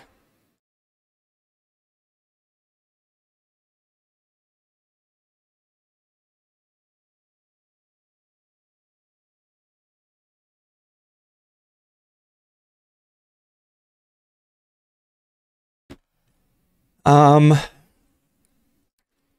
and at the end of the day, I will continue to adapt. The patterns continue to change. I'll continue to teach people how to do that themselves. But no matter what I teach, everyone will be trying to keep up with me anyways. That's the way I see it these days. And if a pattern goes away, I will find the next pattern. That's all there really is to it. And at the end of the day, at this point, I would rather be at least sharing portions of my strategies and getting them out there than having people just steal them and throw them up for free and then take the hard fucking work that I put in years and years to figure certain things out and then they steal it and just throw it up. You know what I mean? That's my whole issue with the content creation game. No one's original. And I'm not saying these strategies, I'm the only one who ever had this idea. But it's certainly what these are original ideas. A lot of my strategies, because I don't like trading the bullshit that all of you guys trade. All of you guys lose. Why the fuck do I want to trade your strategies? Fuck that. You know? So I've always developed my own. Not always, because I started doing what everyone does. But once I realized the power that I can find my own fucking edge and my own strategy and my own scenarios that make sense and give me a why, fuck, dude. This strategy was the best ever reverse split pump. They used to split in 2019, 2018, 2017. They would split at four or five bucks, three bucks. They would fade to a dollar. They have to hold a dollar for compliance. I would load a buck. They would pump it. Or I could even buy when the PR came out at a buck 20 or buck 10. They wouldn't be running too much. And then they would go to two. They would go to four. They would become the biggest runners in the market, period, every time. The biggest runners in 17, 18, 19 were always a re recent split. Always. Okay? Almost every single parabolic, almost every single fucking one looked like this in 2017, 2018, 2019. All right? I was hesitant to put that strategy out because they were fresh low floats. Um, but I felt it was worth it for my students and for just people trading in general to realize look, it's not just breakouts and shit. And if that's all you trade, you're probably going to struggle. But you can find your own strategies through tracking, through seeing patterns develop over and over and over again. I only figured this out because I kept trading parabolics and I kept seeing this little fucking thing here on all, all the tickers I was trading. It's like, what the fuck is that? Oh, it's a split. Then I realized, okay, it's a split. And then you get into compliance. They got to hold a buck for 10 days. They can't get under a buck either. If they get under a buck, they can be delisted. Super powerful. That gives you a why as to what this company, this sketchy ass motherfucker, is going to do. And then once you realize, oh, okay, they got to split to stay compliant. They and they're going to pump it if it gets down towards a buck. That's what happened. But now, but fucking now, they don't go to a buck anymore. These motherfuckers all want to load it at two and three bucks or five or the first fucking day or the second day, you know? So the patterns have shifted. And my whole game's get ahead of everyone. Be ahead of the sheep, be ahead of everyone who's doing all this shit. So I've had to adjust strategies and and yeah, load. Not at a buck. The beauty of the buck was the buck was the floor in my head. And I would see them go under a buck and fucking always close over a buck no matter what. So so yeah, great question. Am I worried? Nope. I'm not. Now, if I am trading strategies on low floats, at liquid low floats, like certain swing trades sometimes, on sector plays, stuff like that, yeah, that's different.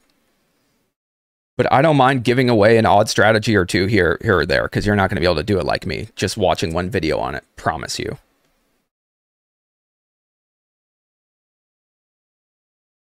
Last questions, and then we do have to wrap up. That was a great question, though.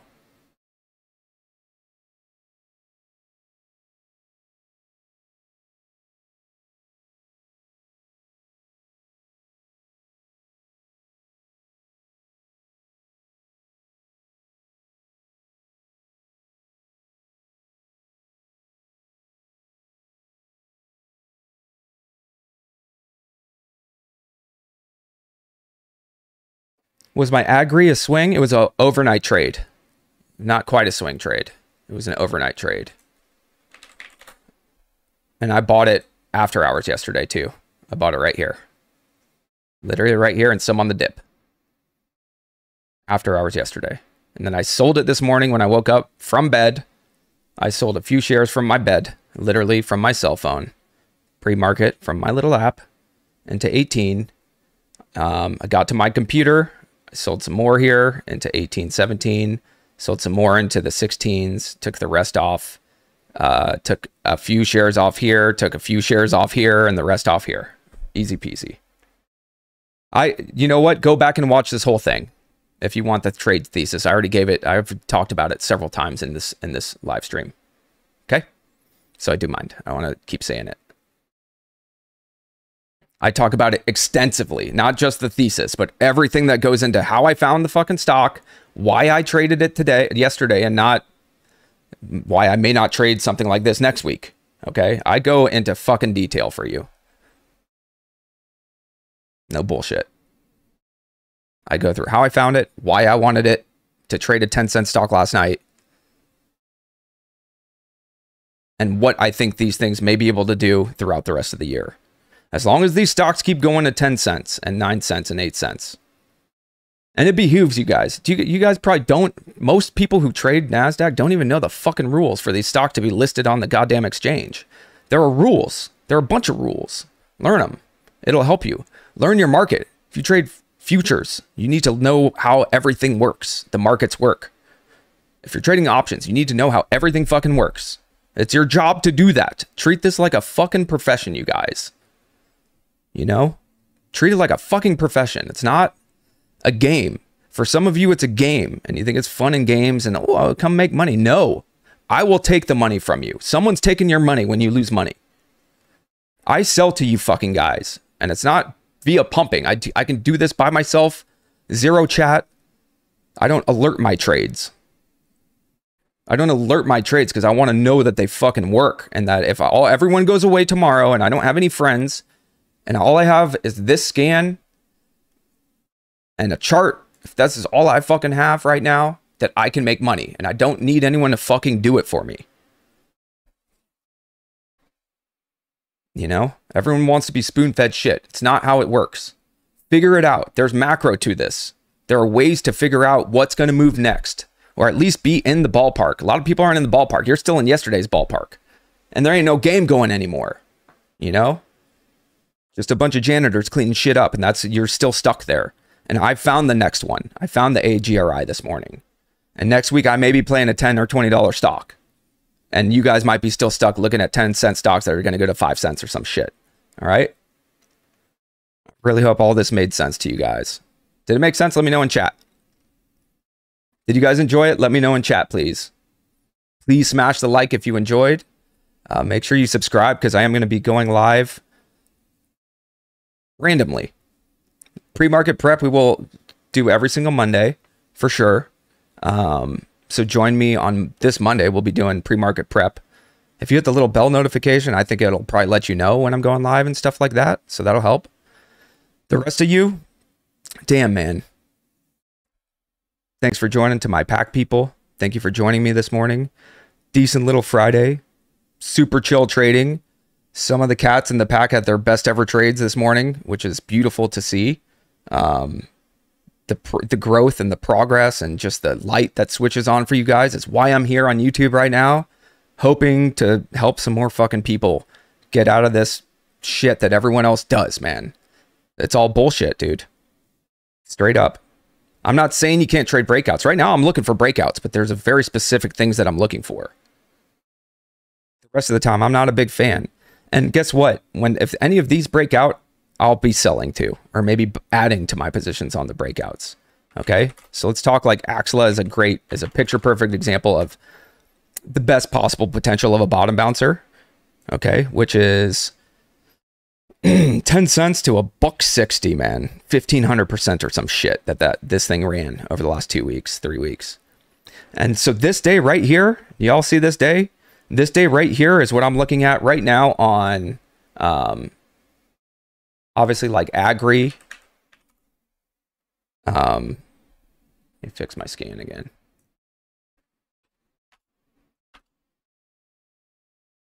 LIFW,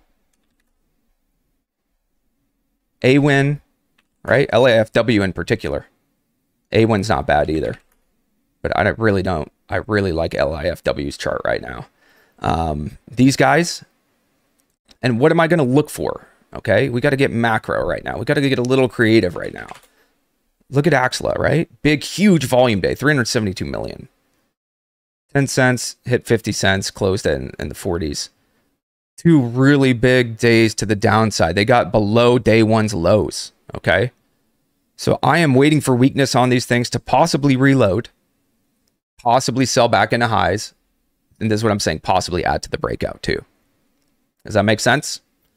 So right now on these things, I'm I have a good mind frame. I'm not really trying to chase or get into agri right now, or agri's pretty ugly. They don't seem like the best candidate for me, but you never know. My only issue is they did volume here, they did some volume here, and they they keep sucking, which is why I'd be more drawn to uh, probably LIFW. Even the float's a little bit bigger there, though. They did come from five cents. Look at that shit. Oh my god, this happened while I was teaching you guys. That sucks. I I wouldn't have necessarily nailed it anyways. But let's look at the pattern, okay? Let's look at this pattern. Morning spike pattern for the most part which we've been seeing, and we've been seeing uh, something very similar to this too. New high of day, breakdown, new low of day, right?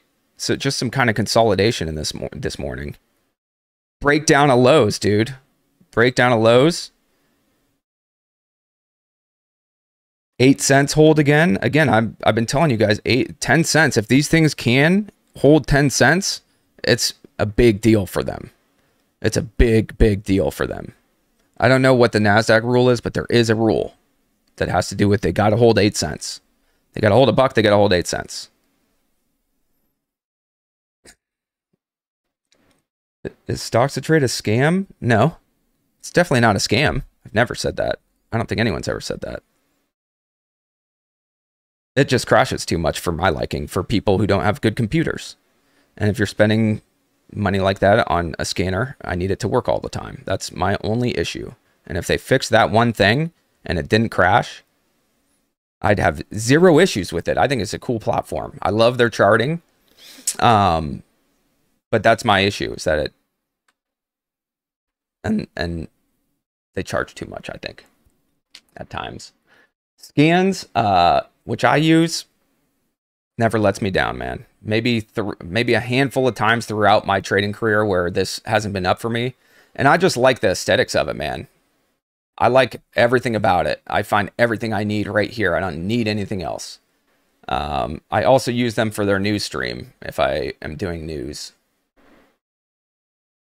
I will also have this up in the mornings pre-market.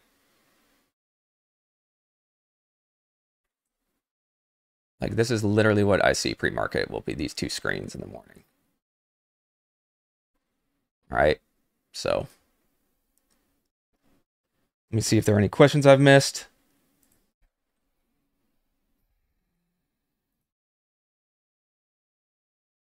Awesome reversal, man. Freaking amazing reversal there. And I just have been teaching you guys. So thanks a lot. Again, I wouldn't necessarily nailed it, but but again, another chart. And when we so like when we get char charts like this and they're kind of drawn out, what I like to do in the morning is switch the five and 15 minute and I will play gap and crap reversal essentially on five and 15 minute time frames too. So I look for slowing down to selling on the five minute time frame. I'll look for maybe pre-market support. It didn't have any here. Um, what a shame, actually. You know, that was a beautiful reversal. But here's the idea, y'all. My very last, my very last uh, note no matter what I'm doing, if I switch to the five minute, I'm looking for reversal on the 15 minute. Targets are VWAP, high of day, pre market highs. As a general rule of thumb, once I get through pre market highs, and I'm talking about day trading here, not necessarily swing ideas, but if I get through pre market highs, that's bonus.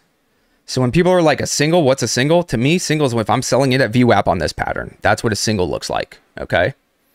Um, then high of day. So I have very specific price targets. Forget the prices. I'm just talking about the exact price action and this pattern. You can transpose this to $5 stocks, $10 stocks. I don't give a shit. This might be uh, $9 and $10 and $11. Okay. I don't care what it is, but that's how I look at it. That's exactly how I look at it. How many LOD snaps will I take before I give up on a stock? I don't have a set amount but you won't see me in and out four or five times or even three, generally speaking. But I am always aware that if I get a leg down and I'm maybe a little too early, and I get another leg down and I may be a little bit too early, and then I get another big leg down or something like that, that might be the best opportunity. And I still want to press buttons there, if that makes sense. What I do do, what I do do is I take, what I do do, uh, what I do is I will if I take right now the the rule I've been implementing is if I, if I take uh, three losses in a row on a setup, day by day by day. So if on Monday I come and I'm trading uh, morning, early morning, 15 minute range gap and crap reversal idea. Shit, man, look at that. Okay, hold on. I feel like I got to hit my scan again. I wonder if it, these other ones are going to hit simps, are going to turn in sympathy.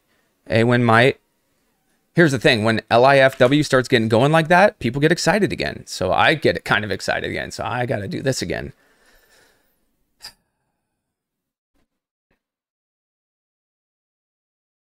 I got to do this shit again. All right, let's go. Let's find a simp.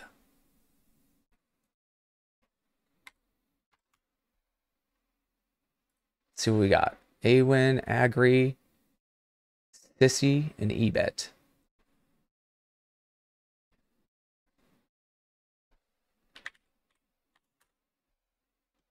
Hey, if you're happy I'm still going, smash that like button. still a liquid. But that's the start. They always start a liquid. 10 cent hold. This one hadn't hit 10 cents, but look at that. 11 cent old right there. Problem is, back to 11, that's a decent percentage chunk. So you have to remember this, guys. Yeah, it goes up 5 cents or 2 cents. It's a large percentage gain. It goes down 1 cent, 2 cents. It's a large percentage gain. So I have to be as accurate as I can be, or I have to size way down so that I can add more. When I am trading these cheap stocks, and this is me, I'm looking for um a lot of shares most times. Because to take advantage of the fact that five cents on a 10 cent stock's a 50% gain, I'm only looking for five cents. So to make it worth it for me, I'm I'm trading hundreds of thousands of shares at a time, or 100,000 shares at a time, or 50,000 shares at a time, right?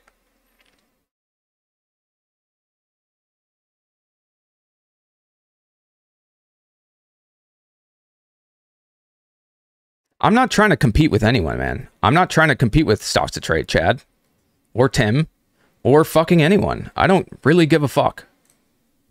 I'm just trying to help traders out. That's it.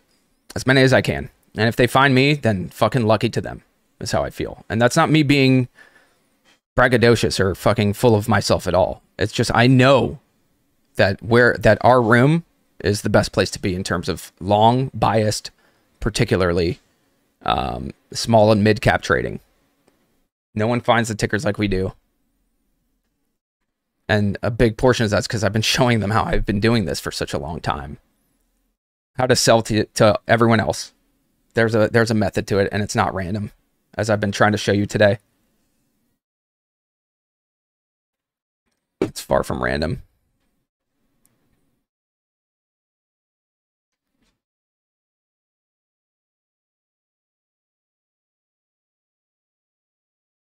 How many times have I been, when holding overnight, been caught in an offering? Happened to me a few times. Uh, plenty of times, bro. Plenty. Maybe 10, you know, over the years. Generally speaking, once or twice a year, I get caught in one. Generally speaking.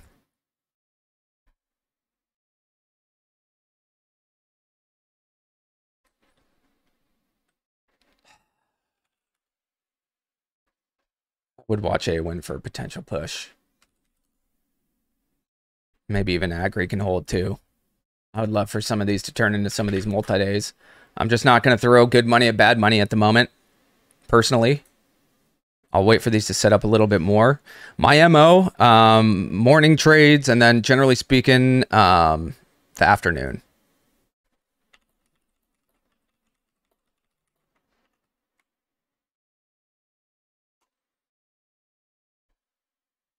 Yeah, no, the whole thing for me, guys, I'm not, I've never, never been trying to compete. In fact, the reason y'all haven't seen me on YouTube for a long time, um, is because of that. I haven't been trying to compete. I actually have not wanted a bunch of students, man. I've wanted to work with a small group of students, and I didn't want to work with new students. I wanted students who had been, I don't have to work on the basics with, because that has been my specialty over time, has been taking traders who have been struggling for a couple years but know the basics and then and then helping them with the gray area that people don't teach that can help push them to the next level. People like Jack and Dom and Huddy and those cats. Um, when I was working with them, that they were already they already knew the basics. All I had to do was help sharpen their tools and give them some new psychological tools and some other ideas. And um, same with the new millionaire students that we've had and some of the new six figure students that we've had. You know, I, that's that's been the deal. But right now, I don't want. I'm sick of unfucking people, man. All these people that I end up teaching have been trading for years because I'm not good at marketing and I don't like marketing, man. I don't like any of that shit. I don't like the industry. I love trading and teaching, and I fucking hate the industry, straight up. Even though it's the industry that got me into this at the first place, you know, like the marketing is what got me into trading, anyways. Right? But so i am not trying to compete, but now I am. I've opened up for the first time over the last six months. I've opened up to new students. Um, you know, our group was 200 people for like four years, pretty much, man.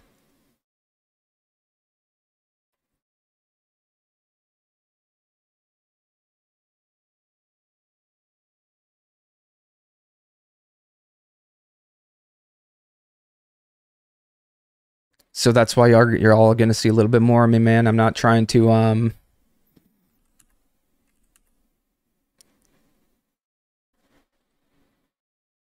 Yeah, ACB's looking decent. I think CGC's looking decent for next week too, at least a push towards those highs from last week.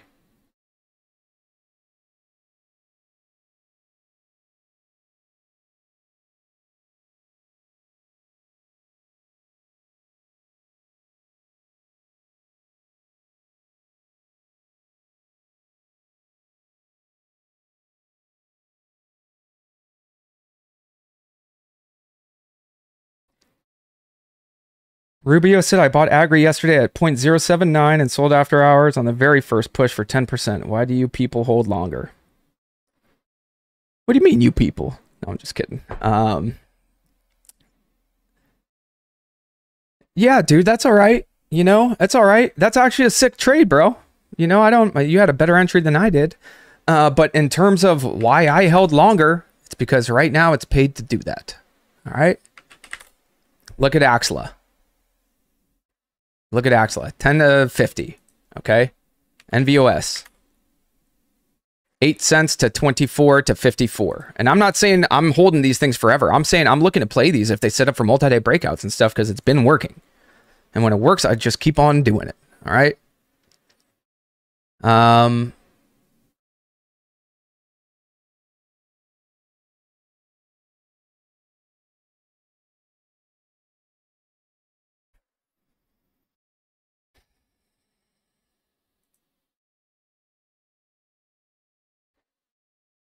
Any more questions? How many students do I have now? I want to say like 400 maybe. About 400. But active on any given day. I mean, like right now,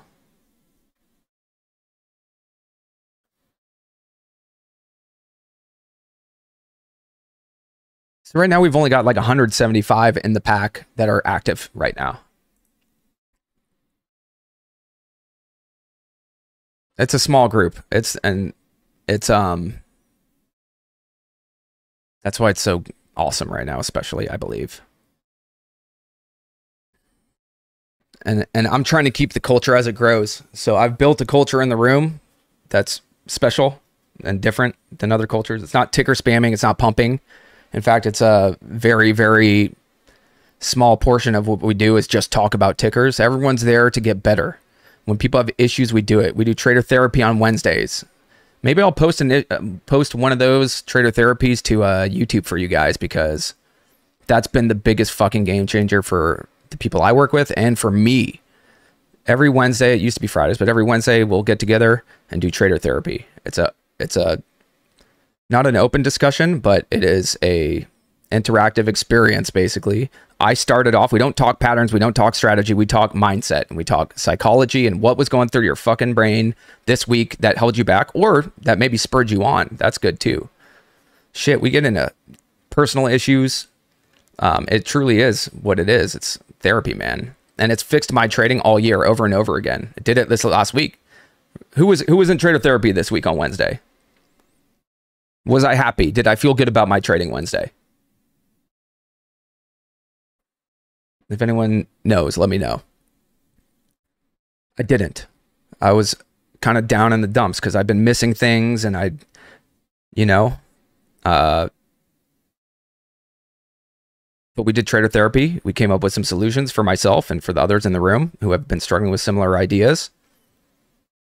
And boom, I had zero fucking confidence on Wednesday, really. I couldn't pull the trigger like Monday, Tuesday, Wednesday. It happened to me last week too. And then I had a decent Friday. But we did Trader Therapy Wednesday, came up with some ideas. And today, you know, boom, good to go. So there's the proof for me. And it keeps working. I keep getting struggling with confidence. And I tell them, okay, my when I'm struggling with confidence, I like to size down and press buttons when plays are there. And I did that yesterday. And then by by the end of the day, I had 90,000 shares of Agri after hours. My confidence comes back that fast if I'm doing the right things.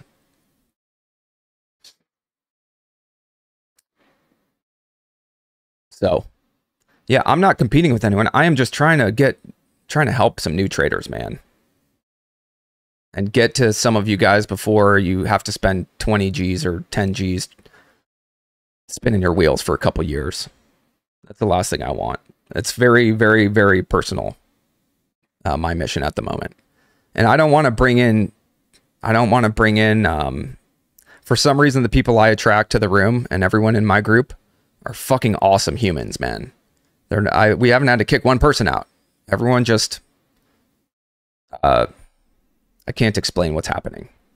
Well, I can. It's just a almost a movement in my eyes.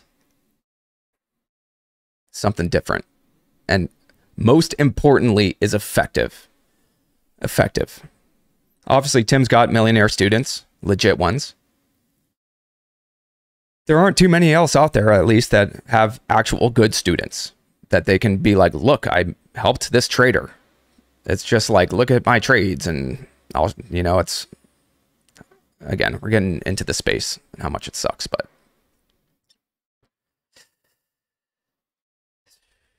long stream this morning. Holy shiza. If you guys enjoyed, smash the like. I appreciate you so much. Um, again, got that QR code if you want to be part of what we got going on over here. It's different, man. It's better. I promise. Um,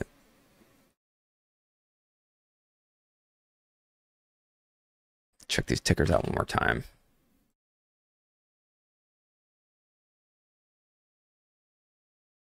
So that's that. You know, bottom bouncers this week. Next week it might be something different, and I'll figure out what that is if it happens. Um, if you're just joining, or definitely go back. I would. I think this was probably a decent live to learn quite a bit from in terms of my process, how to find stocks that can run, how to position yourself correctly. Once you get into this mind frame, it's hard to go back to chasing bullshit all day. All right. It's really fucking hard. It's hard to buy chase breakouts, it's hard to chase anything. If you want my definition of chase, here's my last bit of advice for the day. Chasing is anything that takes me out of good risk reward on my trade. So if my risk level is 33 on this trade and my first price target's VWAP or 36 cents, okay? I got to get snuggle up close to 33 cents to make that 1 to 3. If that makes sense to you guys. All right? I'm trying to get good range on the pools. That's NVOS is not a good ticker to look at this morning. Um, LIFW is okay. So we get that pool towards lows. If I'm playing a midday kind of reversal, I got to get good risk reward to VWAP. So if I'm trading it at 8.084, I need 0.085, 0.086, 0.089 max. And even then, it's kind of pushing it. Obviously, to high of day, that's different targets that you set you can get better risk reward. But the reason why I've done well over time and why my students are doing better than most other people's students at this moment is because of how I try to frame this for them and teach them. Okay? That if you can get you guys, if you can get good risk reward to your first target and it's a reasonable target where people aren't even thinking about trading it yet, a lot of most noobs and a lot of the volume you'll see it doesn't come in until you get through high a day. See that candle right there? Biggest candle of the morning was through high a day people are waiting for that spot to buy. People are waiting for this spot to buy. A lot of people didn't buy till this spot. A lot of people didn't buy till here because they broke high a day. Everyone's buying breakouts and breakouts and breakouts. Whereas I've gotten great risk reward. When I'm playing these plays route, I have shares left still from nine fucking cents, guys. I really hope that makes sense to you. When I'm trading well, I still have this from nine, maybe 10 cents max. But that is what I do. I'm not buying it at 15 and 16. I'm not buying it. And I don't care what chart this is what price range it fucking is. This could be, like I said, 9, 10, 11, 12, 13, 14, 15 dollars. This could be $1, $2, $3. I don't care. All right, 1, 152. Same principles are always going to apply for me from a price action perspective and where I'm setting price targets and the way I like to look at these charts from a technical analysis standpoint and where to put myself. And that's why, like, some of you will see my P&Ls at times and you see my entry and it's just a buy the low a day. And it's not by accident. It's very, very, very fucking on purpose, guys. So a lot of you, a lot of you need a change process. If you've been just learning from one person, I'm not hating on anyone particularly, but if it's not working, you have to at some point do something else. If not, it is the definition of insanity. Or keep paying the person that's not getting you there. Okay? That's the definition of insanity. Doing the same thing over and over and over again and expecting different results. That's what you guys do every day. It's fucking insane to me. You know? And then guess what it's doing to you? When you've been doing that for two years and you're okay with just losing like that and just being not doing well and not doing anything, when you're okay with that, you're certified crazy, bro. That ain't okay. That is why I'm here, dude. That's why I'm doing lives. That's why I'm going to start putting out more YouTube videos. That's why I'm trying to bring more people into the pack so that we can get you away from all this shit, man. That's insanity. Right? Think about it. Makes zero sense. All this time you should have been progressing. A good mentor will help you progress. That's my opinion. A furu, you're going to you're not going to get better. You just aren't. That's the proof that's in the pudding. And the big the big the biggest excuse from all the furus is well you didn't work hard enough. Have you been working hard enough? And very much so very true right? Majority of you aren't going to work hard enough. That's a fact. So i get that. But for most it's just an excuse to keep you spinning around in circles and paying more and more and more and more and more. Oh trading is really hard. It takes years. That's why i just keep fucking paying me. Do you get it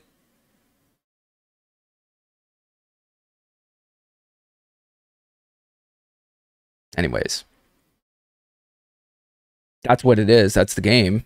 No one gives a fuck about you. You're a number. Get you in the chat, watch my videos, and fuck off. And guess what? If you make some money, then we'll feature you or some shit. Right? That's the whole game. They don't care until you make some money. You're just another number through the marketing machines, right? Fuck that. That's that's what I'm trying to come out here and change a little bit just a little bit. One trader at a time, man. And I talked and because I do the one on ones, man, y'all, even right now on this YouTube, okay? Y'all ain't like subscribers and fucking numbers and whatever to me. You guys are people, man. That's what I'm trying to do with this game is understand.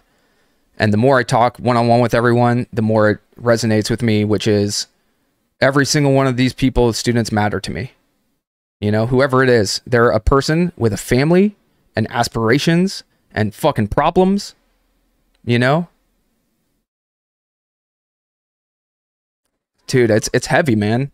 I do these calls every day. I get people crying. I have people talking to me about their child childhood.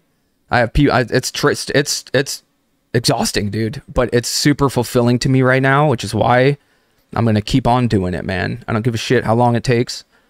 Um, I know, I know exactly that it helped me as an athlete to work with mentors one on one, for them to watch my technique, for them to watch um, the nuances of my game, not the team, not my coach of the team, you know, who has to keep track of everyone, but one trainer. I had a trainer, I had a um, strength and agility coach, I had a speed training coach, um, I had a psychology coach. I had every coach you could think of for soccer, man. That's why I got so much further ahead than my peers at the time, right? That's how I got there.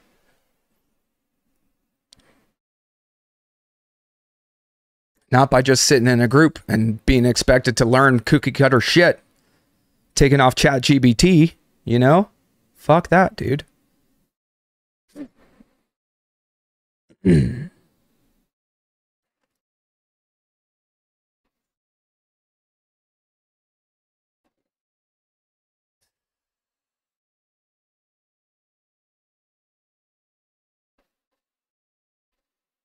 Just looking at a few tickers, losing my voice at this point. I don't know why I'm ranting so much this morning. I I do know why. I've just been taking in a lot of social media lately. And um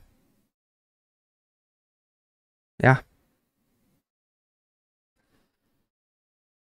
It's all good though. All right. I'm going to do one more round checking for questions and that's it. Don't be nasty.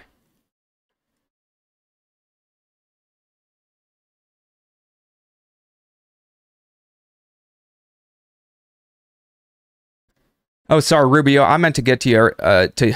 I don't know how I diverge from your question so much, But in terms of um, extending gains, bro, the reason that I had a bigger picture mentality is because this is what has been working and they've all been gapping 50, 60, 70, 80, 100, 200%. So when that happens and I have a macro and I have a good idea that stocks are moving, I try to be patient. Biggest advice I can give you guys who are trying to be more patient as traders size out. Size out. When you get the urge to sell it all, if you're one of those people who just sell the first pop all the time, sell half. Game changer, man. And then when you realize, holy shit, I can actually sell a tenth of this if I want here, and then be really patient. And as a general rule of thumb, my sizing in and out, but my, my the frequency of sizing out and all that good stuff is based off of conviction, both in the markets and then within the setup. So when I'm sizing out, that's what I base it on. It's a preconceived notion of how much I want to size out into which levels. And then I let the price action dictate it for me if I need to sell more or less. That happens. And oftentimes I'm not right in terms of I haven't sold the best. Like I maybe I sold two thirds too early and only a third at the top, or I didn't even get to the top with a third of my shares. That's fine, man.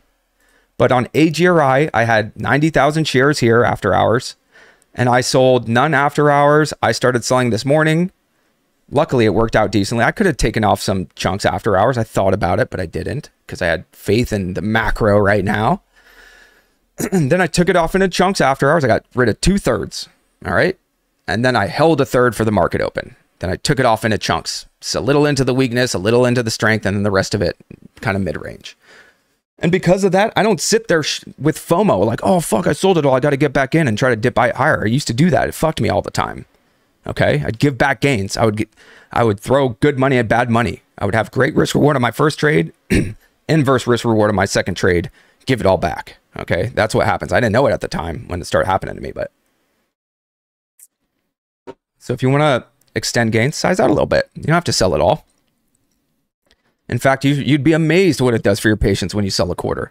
Not only that, but the game for me is always minimize risk, right? Minimize risk, minimize risk. Get good risk reward, then minimize the risk situation. The second I'm taking shares off into that nice strength or into my first price target, what that does is bring usually my trade to break even, even if the rest of my shares get stopped out. So by sizing out, you're de risking the trade now I'm able to sit here. I'm not even going to lose. I can be as patient as possible. Let this plan play out. Okay. Make sure I control it. On the other opposite side of that spectrum, you have a winning trade, right? And I still have some shares. That's always been my thing. I'd rather sell some shares too soon, but also sell some shares at the top than sell all my shares too soon. Okay. Um, very unrealistic to, to be buying and then selling all at the top. You're always going to be selling too soon or too late. But oftentimes with my trades, I'm selling some of them at the top and y'all are selling none from lows to highs. All right. So that's the deal.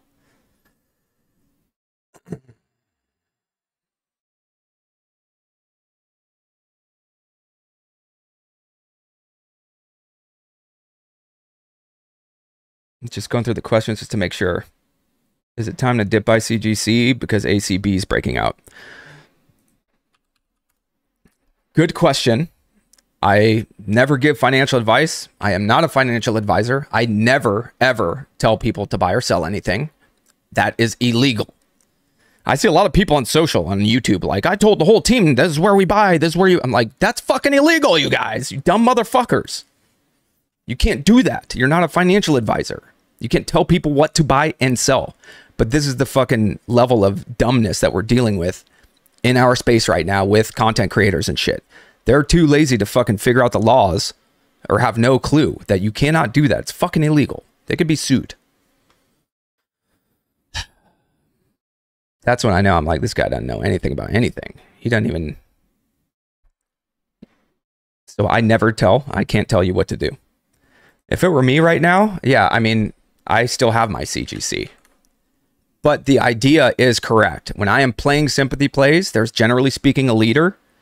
The only issue is is that CGC is has been the leader in my opinion, at least small cap weed stocks. ACB kind of taken over the reins a little bit. And it hasn't been a perfect sympathy. They were running you know, this day while CGC had already gone red, I believe. Yep. This day. So sympathies, but yes, that's the correct idea. And if ACB goes nuts, CGC will go too. So, in other words, the leader in sector momentum can be passed off. We're talking about all the shit today.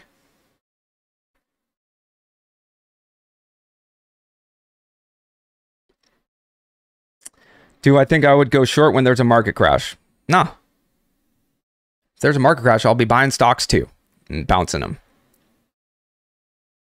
I do plan on doing some shorting in the future, but for now, I'm just super happy with the rhythm I'm in and being long and having a very set system that's working really, really well.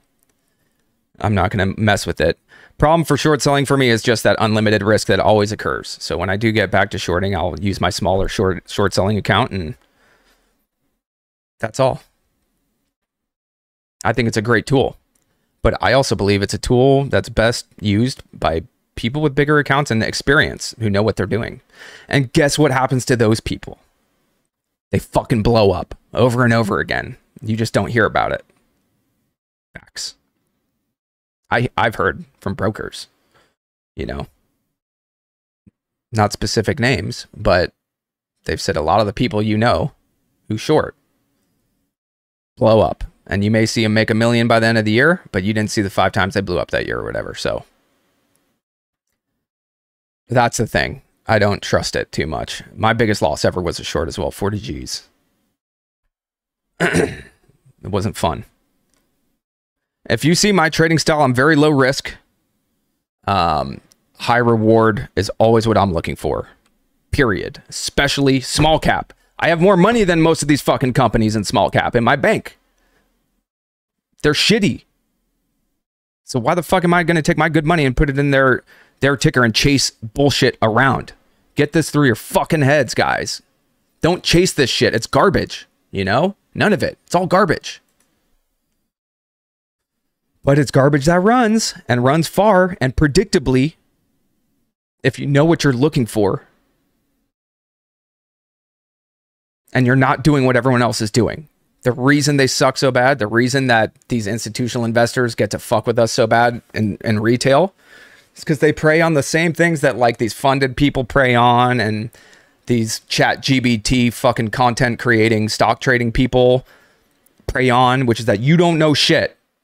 And because you don't know shit, anything I say with the chart and oh, confluence and a break of structure. And if I use some complicated fucking words, you're going to think I know what I'm saying. Fuck that, dude. You know? That's how I feel. These are just my feelings, y'all. These are just my feelings. I watch so much social media and listen to these fucking assholes. I'm usually not this abrasive, I promise. I'm usually not this abrasive. My pack people can attest. But this is why I'm here right now. It's why I'm YouTube again.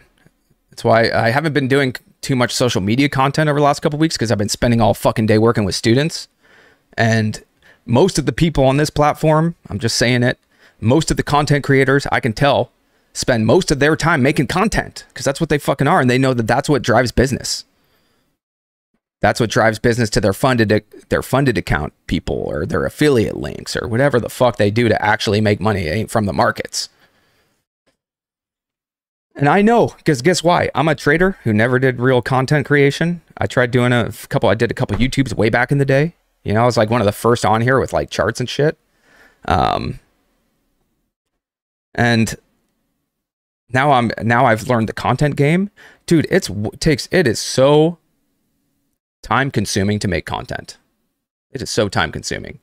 So much so that these people just all they do is make content they're not working on their fucking trading. They're just trying to trade to get a trade to put up on YouTube and shit. If you look at my YouTube lives, half of them I'm not even trading. I have zero P&L because there were no trades for me that day because I don't trade to fucking entertain you motherfuckers. I trade to support my family. You know what I mean? All these people on here, and I'm not saying all of them, there's some really amazing traders on YouTube and on social media that I really, really, really respect and learned from. So I'm not saying it's all bad. I'm just saying a lot of it's fucking terrible. A lot of it's fucking really bad, man. I just want you guys to have my thoughts. Unadulterated, unfiltered thoughts. Um, the majority of people suck, you know, and the majority of people do get into trading to just make a quick buck. And then those people who aren't making their quick bucks are like, oh, they, I mean, I'm convinced like 90% of the influencers that we've seen pop up over the last year in trading didn't get into trading to even trade. They understood that they got into trading to fucking make money from being a content creator.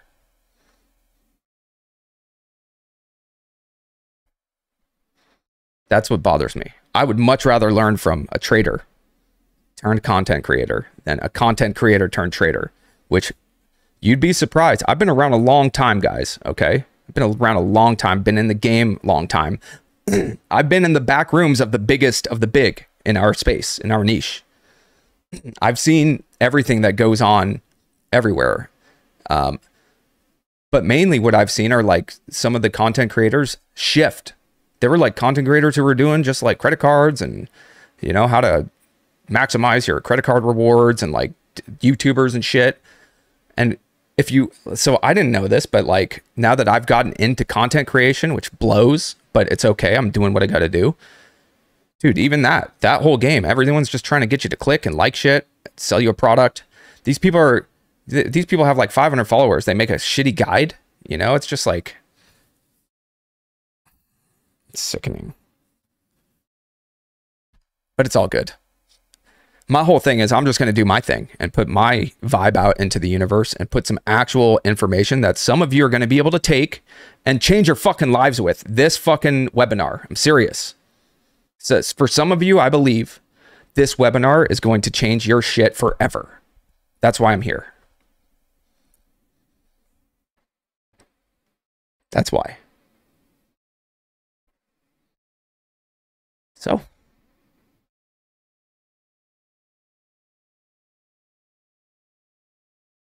But once you know anything about trading, it's very easy to separate the content creators from the actual traders. And the ratio is like 90% to 10% or even worse.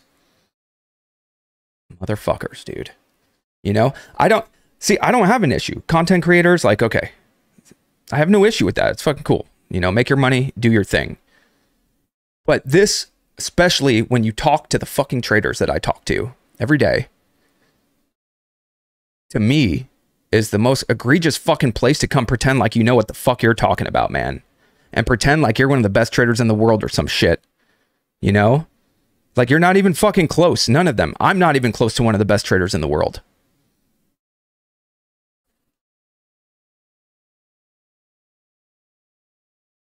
Much less these assholes, you know? Whatever.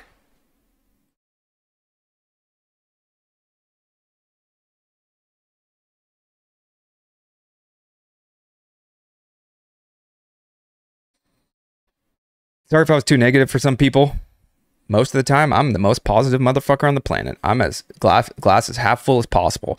It's not even negativity, it's just anger, you know? Because this is people's fucking money and livelihoods, and they have fucking kids, you know? And they're putting their time and effort, and and y'all are just numbers to these people, man. They don't give a fuck. They don't give a flying goddamn fuck about anyone, you know?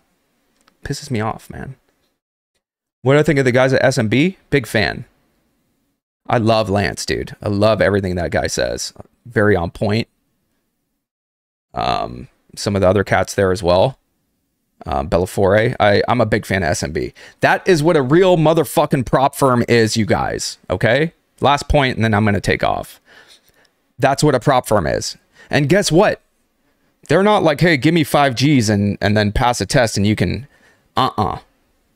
They want to see track record. They they are trying to actually make money from trading you guys. Does that make sense? They are an actual prop firm where they bring in traders, they they screen the traders heavily, they interview the traders, and then they actually help these guys because they are trying to make money as a firm. Right? They're trying to make money as a firm. These other fucking prop firms are not actual prop firms. They are fucking Ponzi scheme funds straight up in my head. You can have your own opinion about it. But that's what they are. They don't give a fuck. You're not being screened. Give us your money first. That's how we're going to fund the next guy. That's bullshit to me, dude. That's bullshit, you know?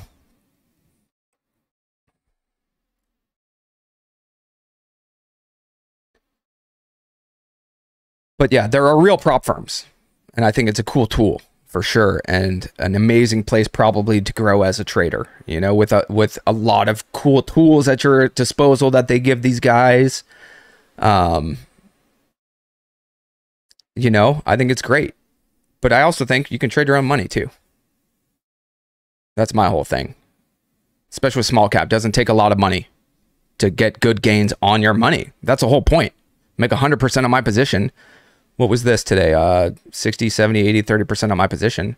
I had 90,000 shares at 10 cents. So I had a $9,000 position, right? But from that $9,000 position today, I made 65, 6, 6,000 from nine. All right. So I can take a thousand dollars on that ticker and I can make six or seven hundred dollars. It's that's why I started in small cap because mathematically it's the only place that makes sense outside of options, really, where you can play basically penny stocks, but they're options because they're cheap.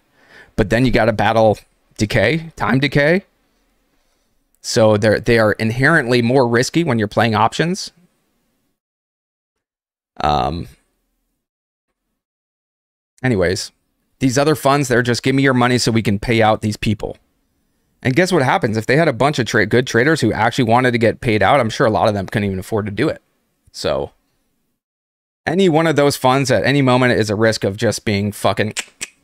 And I've been watching a lot of them. Um, and I don't hate on them, man. You know, it's not anything personal with anyone. It's just I've watched this game for a long time and I've seen the scams come and go. And um, the main thing for me is conflict of interest. I can't be telling you I'm working for you, like I'm providing a service to you. Um, you pay me for that service, but then I don't want it to work for you. You know what I mean? That doesn't make sense.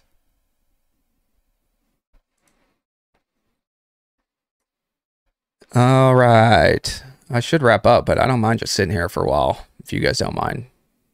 Should I stay or should I leave? You guys let me know. Quick vote. Should I end this or should I leave? I love Sang Lucci though. Sang Lucci's awesome, dude. I have no problem with a fund, dude. I have no problem with funds.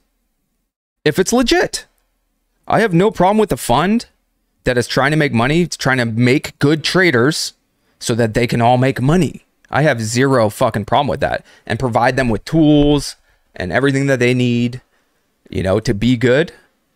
I really I have no problem with that. It's the ones where it's like, and and that it is all of the all of the forex funds pretty much for the most part.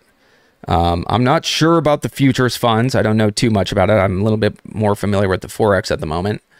Um,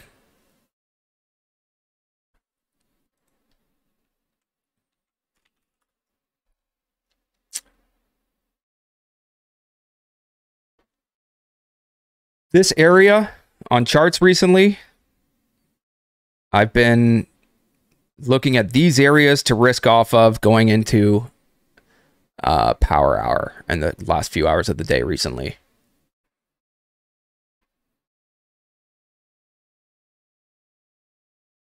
Sorry, I might be a little bit more boring than a lot of the people streaming on YouTube or whatever, but I don't give a fuck.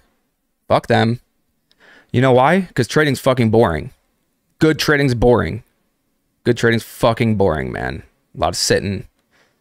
Anyone hooting and hollering, freaking out, they're trying to entertain you. That's fine. If that's their goal to be an entertainer, so be it. As long as they have that distinction, you know?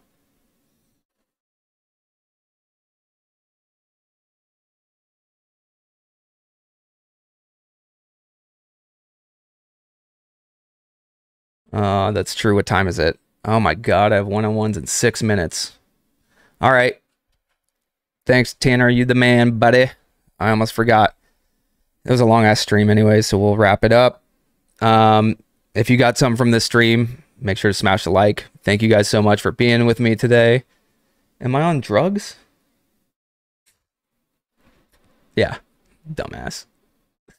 I'm just kidding. Uh, no, not for a very long time. If you know my story, you would know. Um, thank you for joining me, man. If you guys want to join, we got hit that QR code. You can throw 20 off.